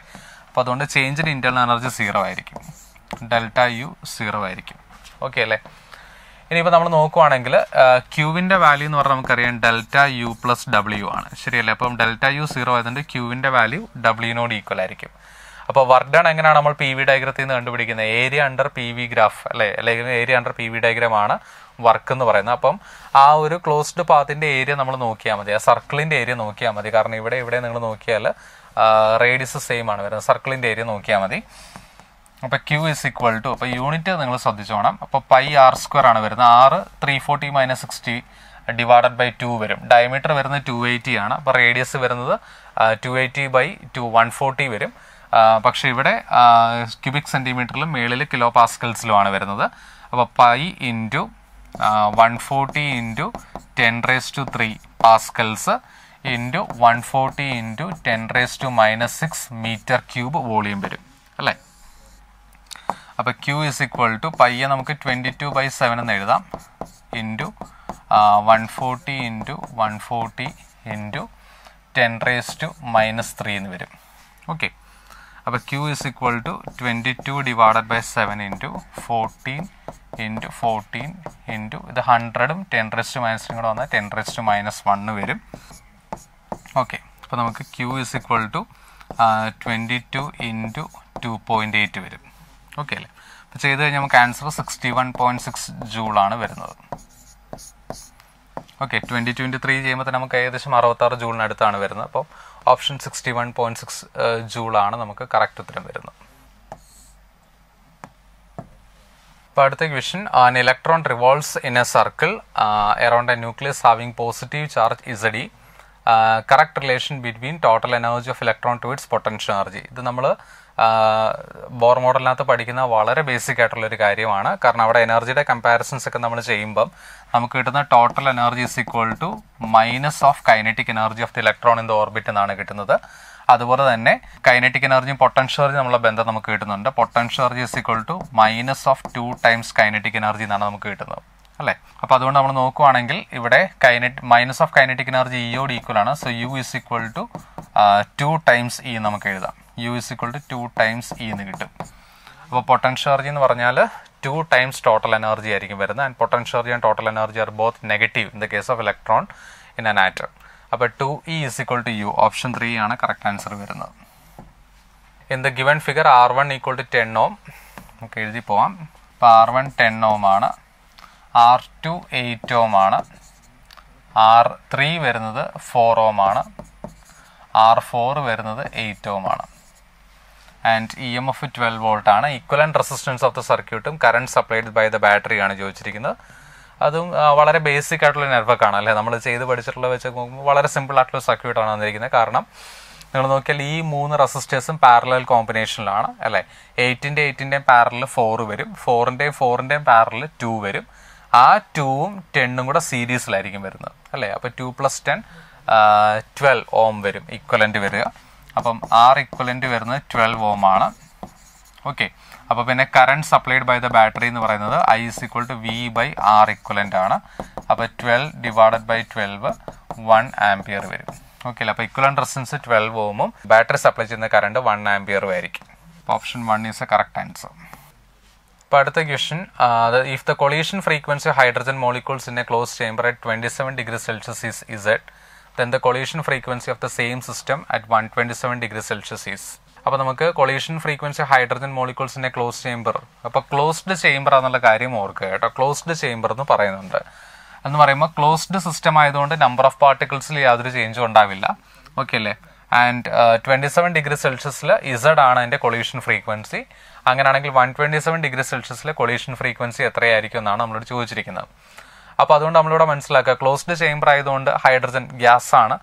അപ്പോൾ നമുക്കിവിടെ വോളിയവും അല്ലെങ്കിൽ നമ്പർ ഓഫ് പാർട്ടിക്കിൾസും മാറുന്നില്ല. കാരണം ചേംബർ ക്ലോസ്ഡ് ആണ്. അപ്പോൾ ഗ്യാസിന്റെ ടോട്ടൽ വോളിയം എന്ന് പറഞ്ഞാൽ ചേംബറിന്റെ വോളിയം തന്നെയായിരിക്കും. അതിൽ ചേഞ്ച് വരുന്നില്ല. നമ്മൾ ടെമ്പറേച്ചർ മാത്രമേ ചേഞ്ച് ചെയ്യുന്നുള്ളൂ. അപ്പോൾ നമുക്ക് കൊളീഷൻ ഫ്രീക്വൻസി എന്ന് പറഞ്ഞാൽ നമുക്കറിയാം. റിലാക്സേഷൻ ടൈമിന്റെ റെസിപ്രോക്കലായിട്ട് നമുക്ക് ഡിഫൈൻ ചെയ്യാം. അപ്പോൾ റിലാക്സേഷൻ ടൈം എന്ന് പറഞ്ഞാൽ നമുക്കറിയാം distance travel between two successive collisions lambda നമ്മൾ മീൻ ഫ്രീ പാത്ത് എന്ന് പറയും. Divided by R M S speed of the molecules ആണ് വരുന്നത് അല്ലേ? അപ്പോൾ ഇതാണ് നമ്മുടെ ഫോർമുല അപ്പോൾ കൊളീഷൻ ഫ്രീക്വൻസി വരുന്നത് വൺ ബൈ റിലാക്സേഷൻ ടൈമാണ് so it is V R M S divided by lambda വരും. അപ്പോൾ വി ആർ എം എസിന്റെ ഫോർമുല നമുക്കറിയാം. റൂട്ട് മീൻ സ്ക്വയർ സ്പീഡ് എന്ന് പറയുന്നത് root of three R T by M ആണ്. അല്ലേ? ആൻഡ് നമ്മൾ ലാംഡ നോക്കുവാണെങ്കിൽ മീൻ ഫ്രീ പാത്തിന്റെ ഫോർമുല നോക്കുമ്പോൾ ടെമ്പറേച്ചറിന്റെ ടേംസിലുള്ള ഫോർമുല എഴുതാനുള്ള സാധ്യതയുണ്ട്. കാരണം ടെമ്പറേച്ചറിലാണ് ചോദ്യം ചോദിച്ചിരിക്കുന്നത്. പക്ഷേ ടെമ്പറേച്ചറിലെ ഫോർമുല എഴുതുമ്പോൾ മീൻ ഫ്രീ പാത്തിനകത്ത് പ്രഷർ എന്നൊരു ടൈം കൂടെ വരുന്നുണ്ട്. പ്രഷറിനെ പറ്റി ഒന്നും പറഞ്ഞിട്ടില്ല. അപ്പോൾ അതുകൊണ്ട് അത് അപ്പോൾ പ്രഷർ തമ്മിലുള്ള റിലേഷൻ നമ്മൾ കണ്ടുപിടിക്കേണ്ടതായിട്ട് വരും. ഇവിടെ അതിന്റെ ഒന്നും ആവശ്യമില്ല. ഇവിടെ കോൺസ്റ്റന്റ് ആയിട്ട് നിൽക്കുന്ന ഫിക്സ്ഡ് ആയിട്ട് നിൽക്കുന്ന ടേംസ് പറയുന്നത് നമ്പർ ഓഫ് പാർട്ടിക്കിൾസും ടോട്ടൽ വോളിയുമാണ് അപ്പോൾ ഇതിന്റെ നമ്പർ ഡെൻസിറ്റി ഓഫ് പാർട്ടിക്കിൾസിന്റെ ടേംസിൽ എഴുതുന്നതാണ് നമുക്ക് നല്ലത്. Which is that is equal to one by root two pi D square into N V എന്ന് വരും. എൻ വി എന്ന് പറഞ്ഞാൽ total number of particles divided by volume ഇത് രണ്ടും മാറുന്നില്ല. അപ്പൊ അതുകൊണ്ട് എൻ വി ഫിക്സ്ഡ് ആണ്. ഡി ഡയമീറ്റർ ഹൈഡ്രജൻ മോളിക്യൂൾസ് മാറുന്നില്ല. അപ്പോൾ ഈ ടേം മൊത്തത്തിൽ കോൺസ്റ്റന്റ് ആണ് അല്ലേ? അപ്പോൾ ലാംഡ കോൺസ്റ്റന്റ് ആയ സ്ഥിതിക്ക് നമുക്ക് കൊളീഷൻ ഫ്രീക്വൻസി എന്തിനോട് പ്രൊപ്പോർഷണൽ ആയിരിക്കും? Collision frequency is proportional to V R M S ആയിരിക്കും which in turn is proportional to square root of absolute temperature അല്ലേ? അപ്പോൾ പുതിയ കൊളീഷൻ ഫ്രീക്വൻസി കണ്ടുപിടിക്കണം. അപ്പോൾ new divided by initial collision frequency Z ആണ് തന്നിട്ടുണ്ട്. That is equal to root of T two divided by T one അപ്പോൾ T two എന്ന് പറഞ്ഞാൽ one twenty seven degree Celsius ആണ് അല്ലേ? അപ്പോൾ അതുകൊണ്ട് അത് ഫോർ ഹൺഡ്രഡ് കെൽവിൻ വരും divided by initial temperature twenty seven degree Celsius എന്ന് പറയുമ്പോൾ ത്രീ ഹൺഡ്രഡ് കെൽവിൻ വരും. അപ്പോൾ നമുക്ക് ടു ബൈ റൂട്ട് ത്രീ എന്ന് കിട്ടി. ഓക്കെ അപ്പോൾ അതുകൊണ്ട് collision frequencies two by root three times Z ആയിരിക്കും വരുന്നത്. Two by root three times Z ആണ് വരുന്നത്. അപ്പം option two is a correct answer An alternating voltage of amplitude 40 volt and frequency 4 kilohertz is applied directly across a capacitor of 12 microfarad. The maximum displacement current between the plates of the capacitor is nearly. അപ്പോൾ displacement കറണ്ടിന്റെ maximum value ആണ് കണ്ടുപിടിക്കേണ്ടത്. നമുക്കറിയാം displacement current എന്ന് പറഞ്ഞാൽ I D is equal to നമുക്ക് capacitance തന്നിട്ടുണ്ട്. വോൾട്ടേജിന്റെ കാര്യമാണ് ചോദിച്ചിരിക്കുന്നത്. സിനുസോഡൽ വോൾട്ടേജ് ആണ്. അപ്പോൾ V is equal to V zero sine omega T നമുക്ക് എഴുതാം. Where V zero is given by forty volt ആണ്. ആൻഡ് ഒമേഗ എന്ന് പറഞ്ഞാൽ ടു പൈ എഫ് ആയിരിക്കും. And frequency is given as four kilo hertz okay അപ്പോൾ capacitance twelve micro farad ആണ്. അങ്ങനെയാണെങ്കിൽ maximum displacement current എത്ര എന്നാണ് നമ്മൾ ചോദിച്ചിരിക്കുന്നത്. അപ്പോൾ മാക്സിമം ഡിസ്പ്ലേസ്മെന്റ് കറണ്ട് കണ്ടുപിടിക്കാൻ നമുക്ക് D Q by D T എടുത്താൽ മതി അല്ലേ? D Q by D T കാരണം കപ്പാസിറ്റൻ ചാർജിങ് കേസ് ആണ്. നമുക്കറിയാം അവിടെ കണ്ടക്ഷൻ കറണ്ടും ഡിസ്പ്ലേസ്മെന്റ് കറണ്ട് സെയിം ആയിരിക്കും. So it same as D Q by D T and Q C V ആയതുകൊണ്ട് this will become C times D V by D T okay അപ്പോൾ D V by D T എടുക്കണം. D V by D T എന്ന് പറയുന്നത് എന്ത് വരും? That is V zero omega cos omega T എന്ന് വരും. പക്ഷെ നമ്മളോട് ചോദിച്ചിരിക്കുന്ന maximum value of displacement current ആണ്. സോ ഡിസ്പ്ലേസ്മെന്റ് കറണ്ടിന്റെ മാക്സിമം വാല്യൂ എന്ന് പറഞ്ഞാൽ C times D V by D ടിയുടെ മാക്സിമം വാല്യൂ ആണ് എന്തുകൊണ്ടാണ് because voltage across a capacitor സിനുസോഡിലാണ് vary ചെയ്യുന്നത്. ഓക്കെ അല്ലേ? V zero sine omega T എന്ന് അപ്പോൾ അതിന്റെ മാക്സിമം വാല്യൂ ആണ് നമുക്ക് വേണ്ടത്. ഓക്കെ അല്ലേ? വി വിയുടെ ഡെറിവേറ്റീവിന്റെ മാക്സിമം വാല്യൂ ആണ് നമുക്ക് വേണ്ടത്. Clearly that is V zero omega that is amplitude of rate of change of voltage അപ്പോൾ ഡി വി ബൈ ഡി ടിയുടെ മാക്സിമം വാല്യൂ എന്താണ്? വി സീറോ ഒമേഗയാണ് അല്ലേ? കാരണം കോസ് വൺ ആവുമല്ലോ. കോസിന്റെ മാക്സിമം വാല്യൂ വൺ ആണ്. അപ്പോൾ ഡി വി ബൈ ഡി ടിയുടെ മാക്സിമം വാല്യൂ വി സീറോ ഒമേഗയാണ് അപ്പോൾ ഇതിനകത്തോട്ട് സബ്സ്റ്റിറ്റ്യൂട്ട് ചെയ്താൽ നമുക്ക് സി വി സീറോ ഒമേഗ എന്ന് കിട്ടും. സോ ഇറ്റ് ഈസ് സി എന്ന് പറയുന്നത് ട്വൽവ് മൈക്രോ ഫാരഡ് ആണ്. അപ്പോൾ twelve into ten raise to minus six into V zero V zero എന്ന് പറയുന്നത് ഫോർട്ടി വോൾട്ട് ആണ് ഇന്റു ഒമേഗ ഒമേഗ എന്ന് പറയുന്നത് ടു പൈ ഇന്റു എഫ് ആണ്. എഫ് എന്ന് പറയുന്നത് four kilo hertz four into ten raise to three so this is twelve into ten raise to minus six into four into four two into പയ്യെ നമുക്ക് വേണമെങ്കിൽ twenty two by seven എന്ന് എഴുതാം. Into four into ten raise to four എന്ന് വരും. ഇവിടുത്തെ ടെണ്ണും ten റെസ് ത്രീയും ten റെസ് four ആക്കി. അപ്പോൾ ഇത് രണ്ട് നമുക്ക് ക്യാൻസൽ ചെയ്താൽ ten raise to minus two വരും. ഓക്കെ ബാക്കിയുള്ളത് നമുക്ക് ചെയ്യാം. Twelve into ten raise to minus two into eight into four thirty two ആണ്. Thirty two into twenty two divided by seven എന്ന് വരും. അപ്പോൾ നമുക്ക് ഒരു അപ്രോക്സിമേറ്റ് വാല്യൂ നമുക്ക് വേണം. അപ്പോൾ അതിന് seven fours twenty eight and seven threes twenty one അപ്പോൾ അപ്രോക്സിമേറ്റ്ലി ഇവിടെ ഒരു ത്രീ നമ്മൾ കൊടുത്തു കഴിഞ്ഞാൽ thirty twenty three thirty six വരും. And thirty six into twelve നമുക്ക് ചെയ്താൽ മതി. The answer is approximately twelve ampere twelve point something വരും. So it be twelve ampere അപ്പോൾ അതും വളരെ ഡയറക്റ്റ് ആയിട്ടുള്ള ഒരു ചോദ്യമായിരുന്നു അല്ലേ? അങ്ങനെ കോംപ്ലിക്കേഷൻസ് ഒന്നുമില്ല ഡയറക്റ്റ് സബ്സ്റ്റിറ്റ്യൂഷൻ മാത്രമേ ഉള്ളൂ. പിന്നെ നമ്മളോട് ചോദിച്ചിരിക്കുന്നത് നമുക്ക് മെക്കാനിക്കൽ പ്രോപ്പർട്ടീസ് ഓഫ് ഫ്ലൂയിഡ്സ് എന്നുള്ളൊരു ചോദ്യമാണ്. നമുക്ക് രണ്ട് സ്റ്റേറ്റ്മെന്റ്സ് തന്നിട്ടുണ്ട്. Statement one is when a capillary tube is dipped into a liquid the liquid neither rises nor falls in the capillary the contact angle may be zero degree so the capillary റൈസിന്റെ formula എന്ന് പറയുന്നത് two T cos theta divided by rho R G ആണ്. Okay നമുക്കറിയാം T rho R G ഇതൊന്നും zero അല്ല. അപ്പൊ capillary rise zero ആണെന്ന് പറഞ്ഞാൽ cos theta zero ആയിരിക്കണം. കോസ് തീറ്റ സീറോ എന്ന് പറഞ്ഞാൽ തീറ്റ നയന്റി ഡിഗ്രി ആയിരിക്കണം. അല്ലെ? Angle of contact ninety degree ആയിരിക്കണം. അപ്പോൾ contact angle may be zero degree എന്ന് പറഞ്ഞാൽ അത് തെറ്റാണ്. കാരണം കോണ്ടാക്ട് ആംഗിൾ സീറോ ഡിഗ്രി ആയി കഴിഞ്ഞാൽ ഈ ടൈം നോൺ സീറോ ആയിരിക്കും. ഈ ടൈം നോൺ സീറോ ആണെങ്കിൽ പിന്നെ എച്ച് നോൺ സീറോ ആയേ പറ്റുള്ളൂ. അതുകൊണ്ട് ഫസ്റ്റ് സ്റ്റേറ്റ്മെന്റ് തെറ്റാണ്. Statement two the contact angle between a solid and liquid is a property of the material of the solid and liquid as well അത് correct ആയിട്ടുള്ള statement ആണ്. കാരണം രണ്ട് ഒരു സോളിഡിന്റെ ഒരു സോളിഡ് ഇന്റർഫേസിന്റെ ലിക്വിഡിന്റെ ഇടയിലുള്ള കോണ്ടാക്ട് ആംഗിൾ എത്ര വരും എന്നുള്ളത് രണ്ടുപേരുടെ നേച്ചർ ഓഫ് മെറ്റീരിയലിനെ അല്ലെങ്കിൽ നേച്ചർ ഓഫ് സർഫസ് പ്രോപ്പർട്ടീസിനെ ഡിപ്പെൻഡ് ചെയ്യുന്ന ഒരു കാര്യമാണ് നമ്മൾ പഠിച്ചിട്ടുണ്ട്. അപ്പോൾ സ്റ്റേറ്റ്മെന്റ് ടു ഈസ് കറക്റ്റ് അപ്പോൾ സ്റ്റേറ്റ്മെന്റ് വണ്ണ് തെറ്റും സ്റ്റേറ്റ്മെന്റ് ടു കറക്റ്റും ആണ്. One is ഫോൾസും statement two is true option two വരും. ഇപ്പോൾ അടുത്ത ക്വസ്റ്റൻ വളരെ ഒരു ചോദ്യമാണ്. A body of mass 50 kg is uh, lifted to a height of 20 meter from the ground in two different ways as shown in the figure. The ratio of work done uh, against the gravity in both the respective. അപ്പോൾ നമുക്കൊരു incline plane ഉണ്ട്. Height is twenty metre mass of the object is fifty kilogram first case നമ്മൾ ആ ഒബ്ജക്റ്റിന്റെ നേരെ മുകളിലേക്ക് ഒരു string കെട്ടി വലിക്കുകയാണ് ചെയ്യുന്നത്. ഓക്കെ അല്ലേ? പുൾഡ് സ്ട്രെയിറ്റ് അപ്പ് എന്ന് പറയുന്നുണ്ട് കേസ് വണ്ണിൽ കേസ് ടു എന്ന് പറയുന്ന എലോങ് ദ റാമ്പ് ഒരാൾ അതിനെ തള്ളി മേളിലോട്ട് കൊണ്ടുപോവാണ്. അപ്പോൾ രണ്ടും കോൺസ്റ്റന്റ് സ്പീഡിലാണ് കാരണം സ്പീഡിനെ പറ്റി ഒന്നും പറഞ്ഞിട്ടില്ലെങ്കിൽ we can assume constant speed അപ്പോൾ അത്തരം കേസുകൾ നമുക്കറിയാം. വർക്ക് ഡൺ എഗൻസ്റ്റ് ഗ്രാവിറ്റി എന്ന് പറഞ്ഞാൽ എം ജി എച്ച് ആയിരിക്കും. And it is independent of the path through which the particle is taken എന്നുള്ള നമ്മൾ പഠിക്കുന്നുണ്ട്. Because work done by gravitation force എന്ന് പറയുന്നത് ഇൻഡിപെൻഡന്റ് ഓഫ് പാത്ത് ആണ്. അപ്പോൾ അതുകൊണ്ട് work done against conservative force അതായത് ഗ്രാവിറ്റേഷൻ ഫോഴ്സ് പറയുന്നത് ഇവിടെ എം ജി എച്ച് ആയിരിക്കും. ബിക്കോസ് സ്പീഡ് ചേഞ്ച് ചെയ്യുന്നില്ല. അപ്പോൾ അതുകൊണ്ട് രണ്ട് കേസിലും നമ്മൾ പാർട്ടിക്കിളിനെ എലിവേറ്റ് ചെയ്യുന്നത് എച്ച് ഹൈറ്റിലോട്ട് ആയതുകൊണ്ട് തന്നെ വർക്ക് ഡണിന്റെ വാല്യൂ എം ജി എച്ച് ആണ് രണ്ടിടത്തും വരുന്നത്. So the answer is one is to one അപ്പോൾ അതിൽ കൂടുതൽ ആലോചിക്കാനൊന്നുമില്ല.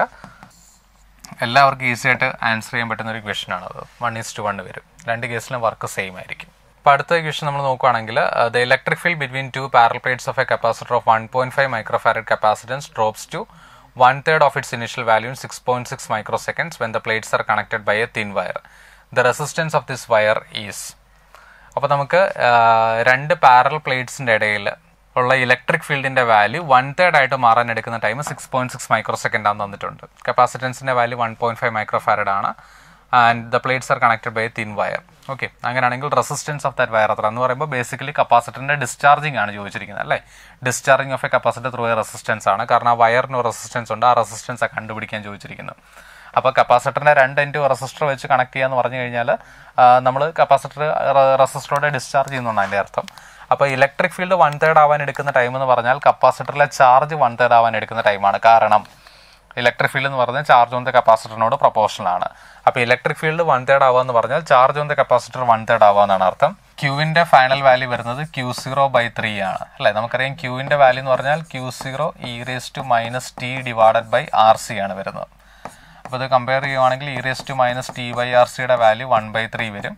അല്ലെങ്കിൽ E raise to T by R സിയുടെ വാല്യൂ ത്രീ വരും. ഓക്കെ അല്ലേ? രണ്ട് സൈഡിലും ലോഗർത് എടുക്കുവാണെങ്കിൽ ടി ബൈ ആർ സിയുടെ വാല്യൂ ലോഗ് ത്രീ വരും. ഓക്കെ അല്ലേ? നമുക്ക് ആറാണ് വേണ്ടത്. R is equal to T divided by C log three വരും. So R is equal to T എന്ന് പറയുന്നത് six point six micro seconds ആണ് അപ്പോൾ സിക്സ് പോയിന്റ് സിക്സ് മൈക്രോ മാറ്റേണ്ട. കാരണം കപ്പാസിറ്റൻസ് മൈക്രോ ഫാരഡിലാണ് അപ്പോൾ ഡിവൈഡഡ് ബൈ സി എന്ന് പറയുന്നത് വൺ പോയിന്റ് ഫൈവ് മൈക്രോഫാരഡ് ആണ്. ഇന്റു ലോഗ് ത്രീ ലോഗ് ത്രീയുടെ വാല്യൂ നമുക്ക് തന്നിട്ടുണ്ട് വൺ പോയിന്റ് വൺ ആണ്. അപ്പോൾ വെട്ടിയാൽ സിക്സ് വരും. വൺ പോയിന്റ് ഫൈവ് സിക്സ് വെട്ടിയാൽ ഫോർ വരും. അപ്പോൾ നമുക്ക് ഫോർ ഓം ആണ് റെസിസ്റ്റൻസ് വരുന്നത്. ഓക്കെ അല്ലേ? വയറിന്റെ റെസിസ്റ്റൻസ് ഫോർ ഓം ആണ്. അപ്പോൾ അടുത്ത ലോസ് ഓഫ് മോഷനിൽ തന്നെയുള്ള ഒരു ക്വസ്റ്റൻ ആണ്. Three blocks M one M two M three having masses four kilogram six kilogram and ten kilogram respectively are ഹാങ്ങിങ് down from a smooth pulley using ropes one two and three are shown the tension the rope one T one when they are moving upward with an acceleration two metre per second squares അപ്പോൾ ഇതാണ് നമ്മുടെ system അപ്പോൾ tension T one ആണ് ചോദിച്ചിരിക്കുന്നത് അല്ലേ? അപ്പോൾ അതുകൊണ്ട് വളരെ എളുപ്പമാണ്. ഇതിനകത്ത് ഏത് ടെൻഷൻ ചോദിച്ചാലും കണ്ടുപിടിക്കാനായിട്ട് എളുപ്പമാണ്. വലിയ പാടൊന്നുമില്ല. കാരണം ആക്സിലറേഷൻ നമുക്ക് തന്നിട്ടുണ്ട്. അപ്പോൾ അതുകൊണ്ട് ടി വൺ കണ്ടുപിടിക്കാൻ വേണ്ടിയിട്ട് നമുക്ക് ഈ വൺ ടു ത്രീയെ നമുക്ക് ഒരൊറ്റ സിസ്റ്റമായിട്ട് എടുക്കാം. അപ്പോൾ നമുക്ക് ചെയ്യാൻ എളുപ്പമുണ്ട്. അപ്പം മൂന്ന് ബ്ലോക്കുകളോടെ ചേർത്ത് നമ്മളൊരു സിംഗിൾ സിസ്റ്റമായിട്ട് എടുക്കുന്നു. അപ്പം M one M two M three ഉണ്ടെന്ന് വിചാരിക്കുക. അപ്പോൾ കമ്പൈൻഡ് മാസ് വരുന്നത് four kilogram plus six kilogram plus ten kilogram വരും അല്ലേ? അപ്പോൾ four plus six ten plus ten twenty kilogram വരും. Okay and this is going up with an acceleration two metre per second square okay അപ്പം മേളിലോട്ട് tension T one ഉണ്ട് അല്ലേ? താഴേക്ക് ഇവരുടെ കമ്പൈൻഡ് വെയിറ്റ് ഉണ്ട്. Combined weight twenty കിലോഗ്രാമിന്റെ total weight two hundred newton വരും. Okay അല്ലേ? അങ്ങനെയാണെങ്കിൽ നമുക്ക് ഇക്വേഷൻ മോഷൻ എഴുതാം. So tension T one minus two hundred newton ആണ് net force that is equal to mass into acceleration twenty into two അപ്പോൾ T one minus two hundred is equal to forty എന്ന് വരും. So T one is equal to two forty newton ആയിരിക്കും ഉത്തരം വരുന്നത്. Okay അല്ലേ? അപ്പോൾ string വണ്ണിലെ tension two forty newton ആണ് വരുന്നത്. If three helium nuclei combine to form carbon nucleus and the energy release in this reaction is dash into ten to minus two mega electron volt അപ്പോൾ നമുക്ക് one യുവിന്റെ value atomic mass of helium ഒക്കെ തന്നിട്ടുണ്ട്. അപ്പോൾ നമുക്ക് മൂന്ന് helium nuclei ഉണ്ട്. They combine to form a carbon nucleus എന്ന് പറയുന്നുണ്ട്. ഓക്കെ അല്ലേ? മൂന്ന് ഹീലിയം ന്യൂക്ലിയസിൽ കമ്പൈൻ ചെയ്യുന്ന കാർബൺ ന്യൂക്ലിയസ് ആണ്. അപ്പോൾ three helium nuclei combine to form C twelve ആയിരിക്കുമല്ലോ ഉണ്ടാവുക. സിക്സ് സി ട്വൽവ് ഉണ്ടാവും. അല്ലേ? നമുക്കറിയാം സിക്സ് സി ട്വൽവിന്റെ അറ്റോമിക് മാസ് നമുക്ക് എളുപ്പമാണ്. കാരണം അറ്റോമിക് മാസിന്റെ ഡെഫിനേഷൻ വരുന്നത് തന്നെ കാർബൺ ട്വൽവ് ഐസോട്ടോപ്പിൽ കാർബൺ ട്വൽവിന്റെ ഐസോടോപ്പിന്റെ മാസ് ഡിവൈഡഡ് ബൈ ട്വൽവ് ആണ് നമ്മൾ വൺ എ എം യു ആയിട്ട് പറയുന്നത്. അതുകൊണ്ട് കാർബൺ ട്വൽവിന്റെ മാസ് വരുന്നത് ട്വൽവ് എ എം യു ആയിരിക്കും. അപ്പോൾ ഇവിടെ മൂന്ന് ഹീലിയം ഉണ്ട്. അപ്പോൾ നമ്മളോട് ക്യൂ വാല്യൂ ഓഫ് റിയാക്ഷൻ ആണ് ചോദിച്ചിരിക്കുന്നത്. എനർജി റിലേസ് എന്ന റിയാക്ഷൻ എന്ന് പറയുന്നത് Q value of the reaction ആണ്. നമുക്കറിയാം that is a total mass of reactants minus the mass of the products into C square ആണ് വരുന്നത്. അപ്പം ടോട്ടൽ മാസ് ഓഫ് റിയാക്ടൻസ് പറഞ്ഞാൽ three times mass of helium വരും. അല്ലേ? മൈനസ് മാസ് ഓഫ് കാർബൺ വരും into C square വരും. അപ്പോൾ three times mass of helium is given as four point naught naught two six naught three minus mass of carbon is twelve A M U into C square അപ്പോൾ നമുക്ക് one U എന്ന് പറഞ്ഞാൽ nine thirty one mega electron volt per C square ആണ് so നമുക്കിതിനെ three into four point zero zero two six zero three minus twelve into nine thirty one ചെയ്താൽ മതി. Mega electron volt. അപ്പോൾ നമുക്ക് answer വരുന്നത് seven point two seven mega electron volt ആണ്.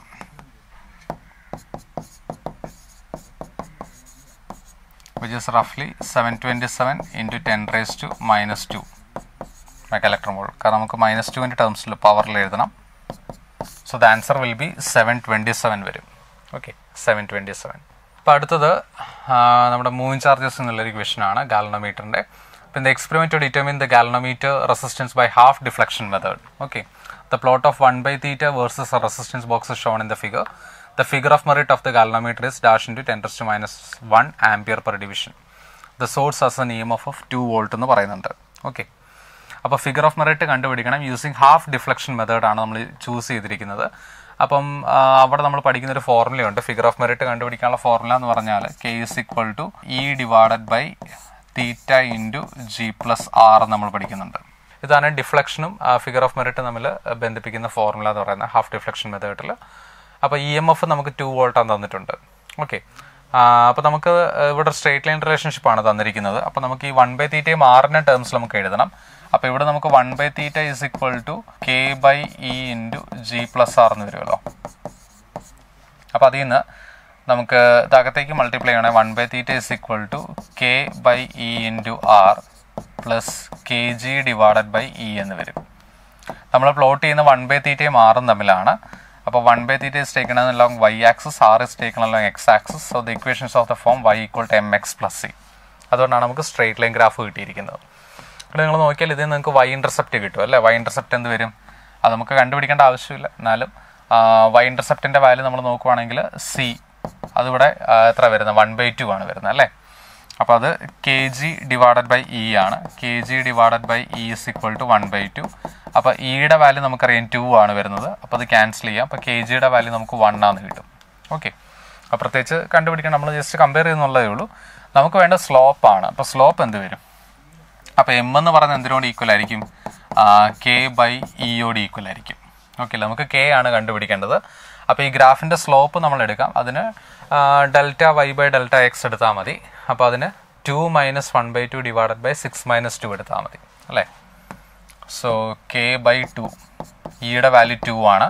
അപ്പോൾ നമുക്ക് കെ ബൈ ടു വരുന്ന K by two is equal to നമുക്ക് സ്ലോപ്പ് എടുക്കുവാണെങ്കിൽ two minus one by two divided by six minus zero വരും. Two minus one by two divided by six minus zero. അപ്പോൾ ഇത് two four minus one three by two divided by six വരും. Okay that is three by two into one by six നമുക്ക് ഇവിടുത്തെ ഒരു ടൂവും കൂടെ നമുക്ക് ക്യാൻസൽ ചെയ്യാം. അപ്പോൾ നമുക്ക് വൺ ബൈ ടു എന്ന് കിട്ടും. ഓക്കെ അല്ലേ? അപ്പോൾ കെയുടെ വാല്യൂ നമുക്ക് വരുന്നത് പോയിന്റ് ഫൈവ് ആണ്. അപ്പോൾ നമുക്ക് അതിന് into ten raise minus one എന്ന് എഴുതണം. So K is equal to point five ampere per division okay which is equal to five into ten raise to minus one അപ്പോൾ നമ്മുടെ ആൻസർ വരുന്ന ഫൈവ് ആണ്. ഓക്കെ ആൻസർ ഇസ് ഫൈവ് ഇപ്പോൾ അടുത്ത question number fifty five body moves on a frictionless plane starting from rest S N is a distance moved between T equal to N minus one and T equal to N seconds and S N minus one is a distance moved between T equal to N minus two and T equal to N minus one seconds then the ratio S n minus 1 divided by N is 1 minus 2 by x for n equal to 10 the value of x is basically one dimension എന്നുള്ള ചോദ്യമാണ്. Nth സെക്കൻഡിൽ എത്ര distance travel ചെയ്തു എന്നുള്ളതിനെ പറ്റിയാണ് ചോദിച്ചിരിക്കുന്നത് അല്ലേ? അപ്പോൾ എന്ത് സെക്കൻഡിൽ ഡിസ്പ്ലേസ്മെന്റ് കണ്ടുപിടിക്കാനുള്ള ഫോർമുല നമുക്കറിയാം. ഇനിഷ്യലി പാർട്ടിക്കുലർ റെസ്റ്റിലാണ് അപ്പോൾ യു സീറോ ആണ്. So it is A by two into two N minus one ആണ് വരുന്നത്. അപ്പം എസ് എൻ മൈനസ് വൺ എന്ത് വരും? A by two into two times എന്നിന് പകരം എൻ മൈനസ് വൺ എന്ന് കൊടുക്കുക. മൈനസ് വൺ വരും. So it is A by two into two N minus one minus two എന്ന് വരും. ഓക്കെ അത് minus one minus two minus three ആക്കണമെന്നൊന്നുമില്ല നമുക്ക് അങ്ങനെ എഴുതാം. അപ്പോൾ നമുക്ക് S N minus one by S N ആണ് ചോദിച്ചിരിക്കുന്നത്. അപ്പോൾ S N minus one by S N അപ്പോൾ നമുക്ക് റേഷ്യോ എടുക്കുവാണെങ്കിൽ two N minus one minus two divided by two N minus one എന്ന് വരും. അപ്പോൾ ഡിവൈഡ് ചെയ്യുവാണെന്നുണ്ടെങ്കിൽ നമുക്ക് one minus two divided by two N minus one എന്ന് വരും. അല്ലേ?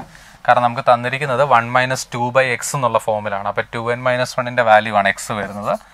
X is equal to two N minus one N ten ആണെന്ന് പറഞ്ഞിട്ടുണ്ട്. So it is two into ten minus one so the answer is nineteen അല്ലേ?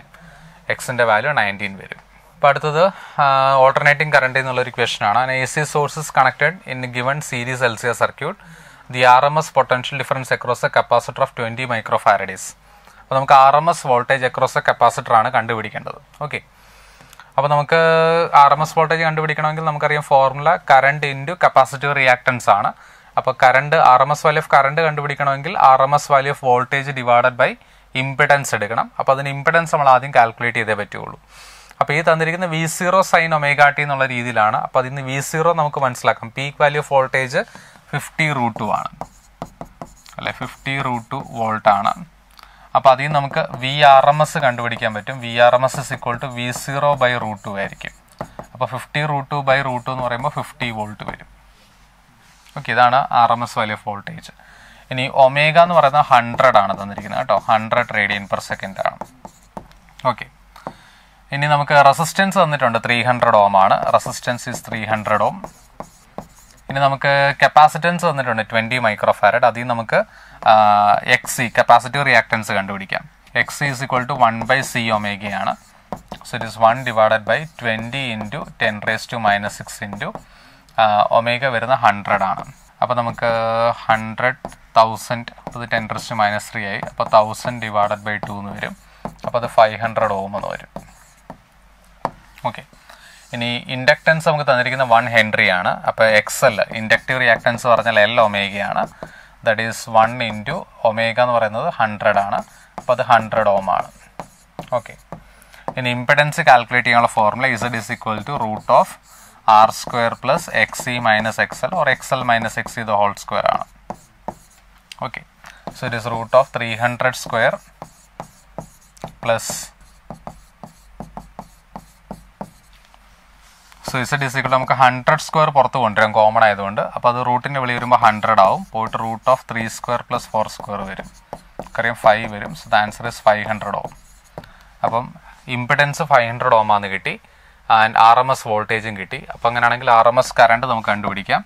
R M S current I is equal to R M S voltage by impedance ആണ്.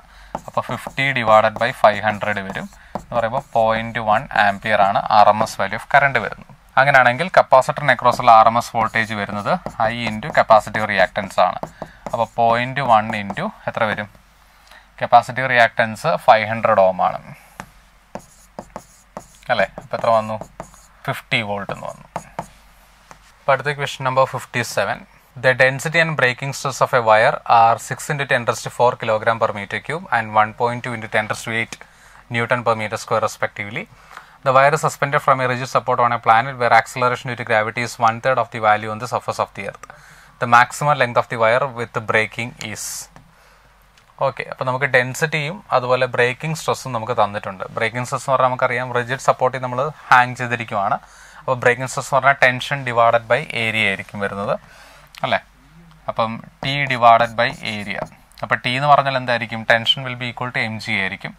അപ്പം M G divided by അപ്പോൾ ഇവിടെ M G by three എന്ന് കൊടുക്കണം. കാരണം acceleration ഒരു gravity one third of the value എന്ന് പറയുന്നുണ്ട്. അപ്പോൾ M G divided by three എന്ന് കൊടുക്കണം. ഓക്കെ അല്ലേ? അപ്പോൾ M G divided by three into A എന്ന് വരും. ഓക്കെ അല്ലേ? അപ്പോൾ അതിൽ നിന്ന് നമുക്ക് ഇത് എ ക്യാൻസൽ ചെയ്യാം. അതിൽ നിന്ന് ടി നമുക്ക് M G divided by three ആണെന്ന് കിട്ടി. ഓക്കെ അല്ലേ? അപ്പോൾ അങ്ങനെയാണ് നമ്മളോട് ചോദിച്ചിരിക്കുന്നത്. സിഗ്മയുടെ വാല്യൂ എന്ന് പറഞ്ഞാൽ അപ്പോൾ M G divided by three ആണ്. സിഗ്മ എന്ന് പറഞ്ഞാൽ ബ്രേക്കിംഗ് സ്ട്രെസ് ആണ് കേട്ടോ. That is M G divided by three എന്ന് വരും. ഇനിയിപ്പോൾ നമ്മളോട് ചോദിച്ചിരിക്കുന്നത് മാക്സിമം എത്ര ലെങ്ത് വരെ ആകാം എന്നുള്ളതാണ് നമ്മളോട് ചോദിച്ചിരിക്കുന്നത്. ശരി അപ്പം ഇത് നമുക്ക് ബ്രേക്കിംഗ് സ്ട്രെസ് ആയിട്ട് എടുക്കാം. സിഗ്മ നമുക്ക് ബ്രേക്കിംഗ് സ്ട്രെസ് ആയിട്ട് എടുക്കാം. അങ്ങനെയാണെങ്കിൽ നമുക്ക് ഈ മാസ് ഓഫ് ദി വയർ നമുക്ക് തന്നിട്ടില്ല. അപ്പോൾ അതിന് നമുക്ക് ഡെൻസിറ്റി തന്നിട്ടുണ്ട്. അപ്പോൾ ഡെൻസിറ്റിയുടെയും ക്രോസ് സെക്ഷൻ ഏരിയയുടെയും ലെങ്ത്തിന്റെ ടേംസിൽ നമുക്ക് എഴുതാം. അപ്പോൾ mass is equal to density into volume ആണ്. വോളിയം എന്ന് പറഞ്ഞാൽ cross section area into length ആണ്.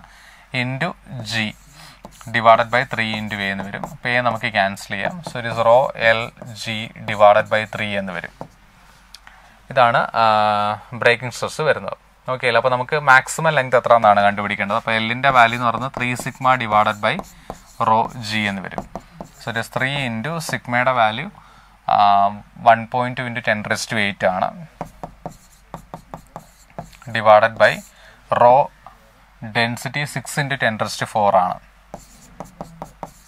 ഇന്റു ടെൻ അപ്പോൾ ten raised four ten ten raised five അത് ടെൻ ക്യൂബായിട്ട് നമുക്ക് എടുക്കാം. Three six two point six അപ്പോൾ L is equal to six hundred metre എന്ന് കിട്ടും. Okay L is equal to six hundred metre വരും. അപ്പോൾ അടുത്ത quest number fifty eight in Young's double slit experiment carried out with light of wave length five thousand angstrom The distance between the slits is 0.3 millimeter and the screen is at 200 centimeter from the slits. The central maximum is at x equal to 0. The value of x for third maxima is. അപ്പോൾ എന്ത് മാക്സിമയിലോട്ട് central മാക്സിമത്തിൽ നിന്നുള്ള ദൂരമാണ് ചോദിച്ചിരിക്കുന്നത് direct ഫോർമുലയാണ് നമുക്കറിയാം എന്ത് bright ഫ്രിഞ്ചിലോട്ടുള്ള ദൂരം എന്ന് പറഞ്ഞാൽ വൈ എൻ എന്ന് പറഞ്ഞാൽ N lambda D divided by D ആണ് വരുന്നത്.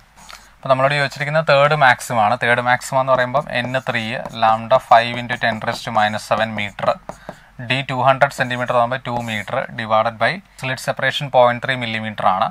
അപ്പോൾ three into ten raised minus four metre വരും. Ten raised minus four ten raised minus seven ten raised minus three വരും. ത്രീ ത്രീ നമുക്ക് ക്യാൻസൽ ചെയ്യാം. ഫൈവ് ഇന്റു ടു നമുക്ക് ten വരും. അപ്പോൾ ten into ten raised minus three metre ആണ്. നമുക്ക് മില്ലിമീറ്ററിലാണ് ഉത്തരം വേണ്ടത്. അപ്പോൾ ടെൻ മില്ലിമീറ്റർ വരും. ഓക്കെ ആൻസർ ടെൻ ആണ്. അപ്പോൾ question number fifty nine three capacitors of capacitances twenty five microfarad thirty microfarad and forty five microfarad are connected in parallel to a supply of hundred volt energy stored in the above combination is E. When these capacitors are connected in series to the same supply, the energy stored is 9 by XC. The value of X is.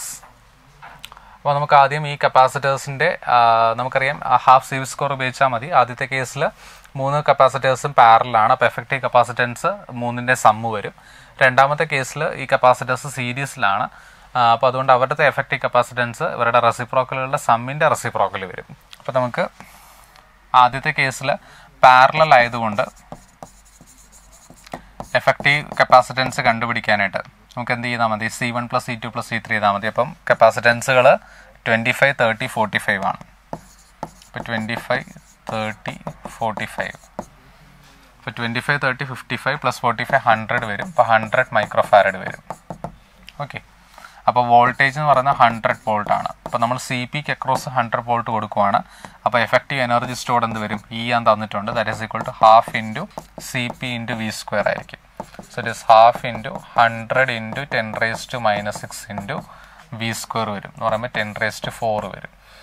അപ്പോൾ ten raise to four ten raise to ten raise to minus six അപ്പോൾ നമുക്ക് one by two ജൂളാന്ന് കിട്ടും. അപ്പോൾ ഈയുടെ value നമുക്ക് കിട്ടി one by two ആണ്. ഇനി ഇവരെ സീരീസിൽ കണക്ട് ചെയ്യുവാണ് സീരീസിൽ കണക്ട് ചെയ്ത് കഴിയുമ്പം effective capacitance one by C S എന്ന് പറയുന്നത് എന്ത് വരും one by C S is equal to one by twenty five plus one by thirty plus one by forty five ഇപ്പം എന്ന് പറയുമ്പോൾ വൺ ബൈ ഫൈവ് കോമൺ എടുക്കുവാണെങ്കിൽ one by five plus one by six plus one by nine വരും അപ്പോൾ നമുക്ക് ninety എടുക്കാം L C M അപ്പോൾ one by C S is equal to one by five into nineteen എടുക്കുവാണെന്നുണ്ടെങ്കിൽ eighteen plus fifteen plus ten divided by ninety വരും. അപ്പോൾ one by five into eighteen plus fifteen twenty eight thirty three forty three വരും. Divided by ninety വരും. Okay ഇതാണ് one by C S വരുന്നത്. അപ്പോൾ C S എന്ന് പറയുന്നത് എത്ര ആയിരിക്കും C S is equal to ninety into five divided by forty three ആയിരിക്കും വരുന്നത്. അത്രയും മൈക്രോ ഫാരഡ് ആണ്. ഓക്കെ അപ്പം ഈ കേസിൽ എനർജി സ്റ്റോർഡ് എന്ന് പറയുന്നത് nine by x into E എന്ന് പറയുന്നുണ്ട് അല്ലേ അപ്പോൾ nine by x is equal to half C S into V square ആയിരിക്കും. അപ്പം നയൻ ബൈ എക്സ് ഇന്റു ഇയുടെ വാല്യൂ നമ്മൾ കണ്ടുപിടിച്ചായിരുന്നു വൺ ബൈ ടു ആണ്. Is equal to half into C S എന്ന് പറയുന്നത് ninety into five divided by forty three into ten raise to minus six into V square V square ten raise to four ആണ്. Okay നമുക്ക് നയനും നയന്റിയും വെട്ടാം ten വരും. ടെണ്ണും ten raise to five വരും. ഇപ്പോൾ ഇവിടെ ten raise to minus one ആയി. ഓക്കെ വൺ ബൈ ടു നമുക്ക് ക്യാൻസൽ ചെയ്യാം. One by x is equal to five divided by ten into forty three എന്ന് വരും. അപ്പോൾ നമുക്ക് വൺ ബൈ എയ്റ്റി സിക്സ് എന്ന് വരും. അപ്പോൾ എക്സിന്റെ വാല്യൂ എയ്റ്റി സിക്സ് ആയിരിക്കും. X is equal to eighty six വരും two ampere current carrying straight metal wire of resistance one ohm resistivity two into ten to minus six ohm metre area of cross section ten millimetre square and mass five hundred gram is suspend horizontally mid air by applying uniform magnetic field B magnitude of B is നമ്മുടെ N C R ടിയിലുള്ള ഒരു type question തന്നെയാണ്. നമ്മളൊരു current carrying കണ്ടക്ടറിനെ നമ്മളൊരു magnetic ഫീൽഡിൽ suspend ചെയ്ത് നിർത്തുവാണ് എയറിൽ അപ്പോൾ അങ്ങനെ സസ്പെൻഡ് നിർത്തണമെങ്കിൽ മാഗ്നറ്റിക് ഫോഴ്സ് ഗ്രാവിറ്റേഷൻ ഫോഴ്സിനെ ബാലൻസ് ചെയ്യണം. അതാണ് ഇവിടുത്തെ കണ്ടീഷൻ അപ്പോൾ മാഗ്നറ്റിക് ഫോഴ്സിന്റെ വാല്യൂ നമുക്കറിയാം. ഐ എൽ ബി വരും. That is equal to M G ആയിരിക്കണം. അല്ലേ? നമ്മളോട് ബി എത്രയാണെന്ന് ചോദിച്ചിരിക്കുന്നത്? B is equal to M G divided by I L B വരും. ഓക്കെ അപ്പോൾ ഇവിടെ നമുക്ക് കറണ്ട് ഐ തന്നിട്ടുണ്ട് മാസ് തന്നിട്ടുണ്ട് ജി നമുക്കറിയാം ടെൻ ആണ്. ലെങ്ത് നമുക്ക് തന്നിട്ടില്ല. അല്ലേ? നമുക്ക് resistance resistivity cross section area ആണ് തന്നിരിക്കുന്നത്. അപ്പോൾ അങ്ങനെയാണ് ലെങ്ത് കണ്ടുപിടിക്കാമല്ലോ ലോ ഓഫ് റെസിസ്റ്റൻസ് പ്രകാരം R is equal to rho L by A ആണ്. അപ്പോൾ അതിൽ നിന്ന് ലെങ്ത് ലെങ്ത് എന്ന് പറയുന്നത് നമുക്ക് എന്തായിട്ട് എഴുതാം length is equal to R A divided by rho ആണ് വരുന്നത്. അപ്പോൾ അതെടുത്ത് ഇവിടെ സബ്സ്റ്റിറ്റ്യൂട്ട് ചെയ്യുവാണെങ്കിൽ B is equal to M G rho divided by I R A എന്ന് വരും. അപ്പോൾ നമുക്ക് ബി എന്ന് പറയുന്നത് B is equal to point five into ten into resistivity two into ten raise minus six by two into resistance one ആണ് into cross section area ten millimetre square ആണ്. അപ്പോൾ ten into ten raise to minus six metre square വരും. Ten വെട്ടാം two വെട്ടാം. B is equal to point five tesla വരും. Magnetic field point five tesla ഇതായിരുന്നു നമ്മുടെ ജെയിമിന്റെ second സെഷനിൽ fifth ഏപ്രിലിൽ നടന്ന പരീക്ഷയുടെ മോർണിംഗ് സെഷനിലെ ക്വസ്റ്റ്യൻസ് ആണ് നമ്മൾ ചെയ്തത്. അപ്പോൾ അത്യാവശ്യം ക്വസ്റ്റ്യൻസിന്റെ ലെവൽ നോക്കുകയാണെന്നുണ്ടെങ്കിൽ ഒരു ഈസി ടു മീഡിയം എന്നേ പറയാനായിട്ടുള്ളൂ. അങ്ങനെ ഹാർഡ് ആയിട്ടുള്ള അല്ലെങ്കിൽ ഒരു ഡിഫിക്കൽട്ടി ലെവൽ എന്ന് പറയാനായിട്ട് തക്കവണ്ണമുള്ള ഒരു ക്വസ്റ്റ്യൻസ് ഒന്നും അങ്ങനെ ഇല്ലായിരുന്നു. നമുക്ക് ചാപ്റ്ററുകളെല്ലാം കവർ ചെയ്തിട്ടുണ്ട്. അപ്പം അത്യാവശ്യം നമുക്ക് ആ ഒരു മാർക്ക് ഡിസ്ട്രിബ്യൂഷനൊക്കെ നോക്കുകയാണെന്നുണ്ടെങ്കിൽ നമുക്ക് ഇപ്പോൾ ഇലക്ട്രോസ്റ്റാറ്റിക്സിൽ നിന്ന് കറണ്ട് ഇലക്ട്രിസിറ്റി നിന്നൊക്കെ പൊതുവേ നല്ല നല്ല ചോദ്യങ്ങളൊക്കെ വരുന്നുണ്ട്. നമുക്ക് കാര്യമായിട്ടുള്ള സിമ്പിൾ ആയിട്ടുള്ള ക്വസ്റ്റൻസ് ഒക്കെയാണ് ചോദിച്ചത്. കാരണം കപ്പാസിറ്റൻസ് വെച്ചുള്ള ഒരു ചോദ്യം പിന്നെ charging discharging of a capacitor ആണ് ചോദിച്ചത്. കറണ്ട് ഇലക്ട്രിസിറ്റി ആണെങ്കിലും നമ്മൾ സിമ്പിൾ ആയിട്ടുള്ള ഒരു ക്വസ്റ്റൻ റെസിസ്റ്റൻസ് നെറ്റ്വർക്ക് വളരെ ഈസി ആയിട്ട് നമുക്ക് സോൾവ് ചെയ്യാൻ പറ്റുന്ന റെസിസ്റ്റൻസ് നെറ്റ്വർക്ക് എന്നുള്ളൊരു ചോദ്യമാണ് വന്നത്. പിന്നെ മൂവിങ് ചാർജസ് ഒക്കെ ആണെന്നുണ്ടെങ്കിൽ നമുക്ക് ഹാഫ് ഡിഫ്ലക്ഷൻ മെത്തേഡ് ചോദിച്ചിരുന്നു. അപ്പോൾ ഇതൊരു ഗാലനോമീറ്ററിന്റെ പ്രോബ്ലം ആയിരുന്നു ചോദിച്ചത്. പിന്നെ നമുക്കൊരു ആംപിയർ സർക്യൂട്ടിലുള്ള ഒരു ആപ്ലിക്കേഷൻ ആയിട്ട് ഒരു ക്വസ്റ്റൻ ചോദിച്ചിരുന്നു. പിന്നെ ഇൻഡക്ഷൻ ആണെങ്കിലും ഓൾട്ടർനേറ്റിംഗ് കറണ്ട് ആണെങ്കിലും അങ്ങനെ ടോപ്പിക്സ് എല്ലാ ടോപ്പിക്സും നമ്മൾ പൊതുവെ നോക്കുകയാണെന്നുണ്ടെങ്കിൽ അങ്ങനെ ഒന്നിൽ നിന്നും അങ്ങനെ കാര്യമായ അല്ലെങ്കിൽ ഡിഫിക്കൽട്ടി ലെവലുള്ള ചോദ്യങ്ങളൊന്നും നമ്മൾ കണ്ടില്ല. അപ്പോൾ അത്യാവശ്യം എല്ലാം easy to medium level of questions ആയിരുന്നു വന്നത് അപ്പം ഈ ഒരു സെഷൻ നിങ്ങൾക്ക് ഹെൽപ്ഫുൾ ആയെന്ന് വിചാരിക്കുന്നു. അപ്പം നമ്മളുടെ സൊല്യൂഷൻസ് എല്ലാവർക്കും ക്ലിയർ ആണെന്ന് വിചാരിക്കുന്നു. അപ്പോൾ എന്തായാലും ഇനി മറ്റൊരു സെഷൻ നമുക്ക് കാണാം. So until then thank entrance സംബന്ധമായ വാർത്തകളും അപ്ഡേഷനുകളും ഏറ്റവും വേഗം ആധികാരികമായി അറിയാൻ Brilliant Study Centre Pala YouTube channel subscribe ചെയ്യുക. ബെല്ലൈക്കൺ അമർത്തുക. ഈ വീഡിയോ മറ്റ് സുഹൃത്തുക്കളിലേക്കും ഷെയർ ചെയ്ത് നൽകുക.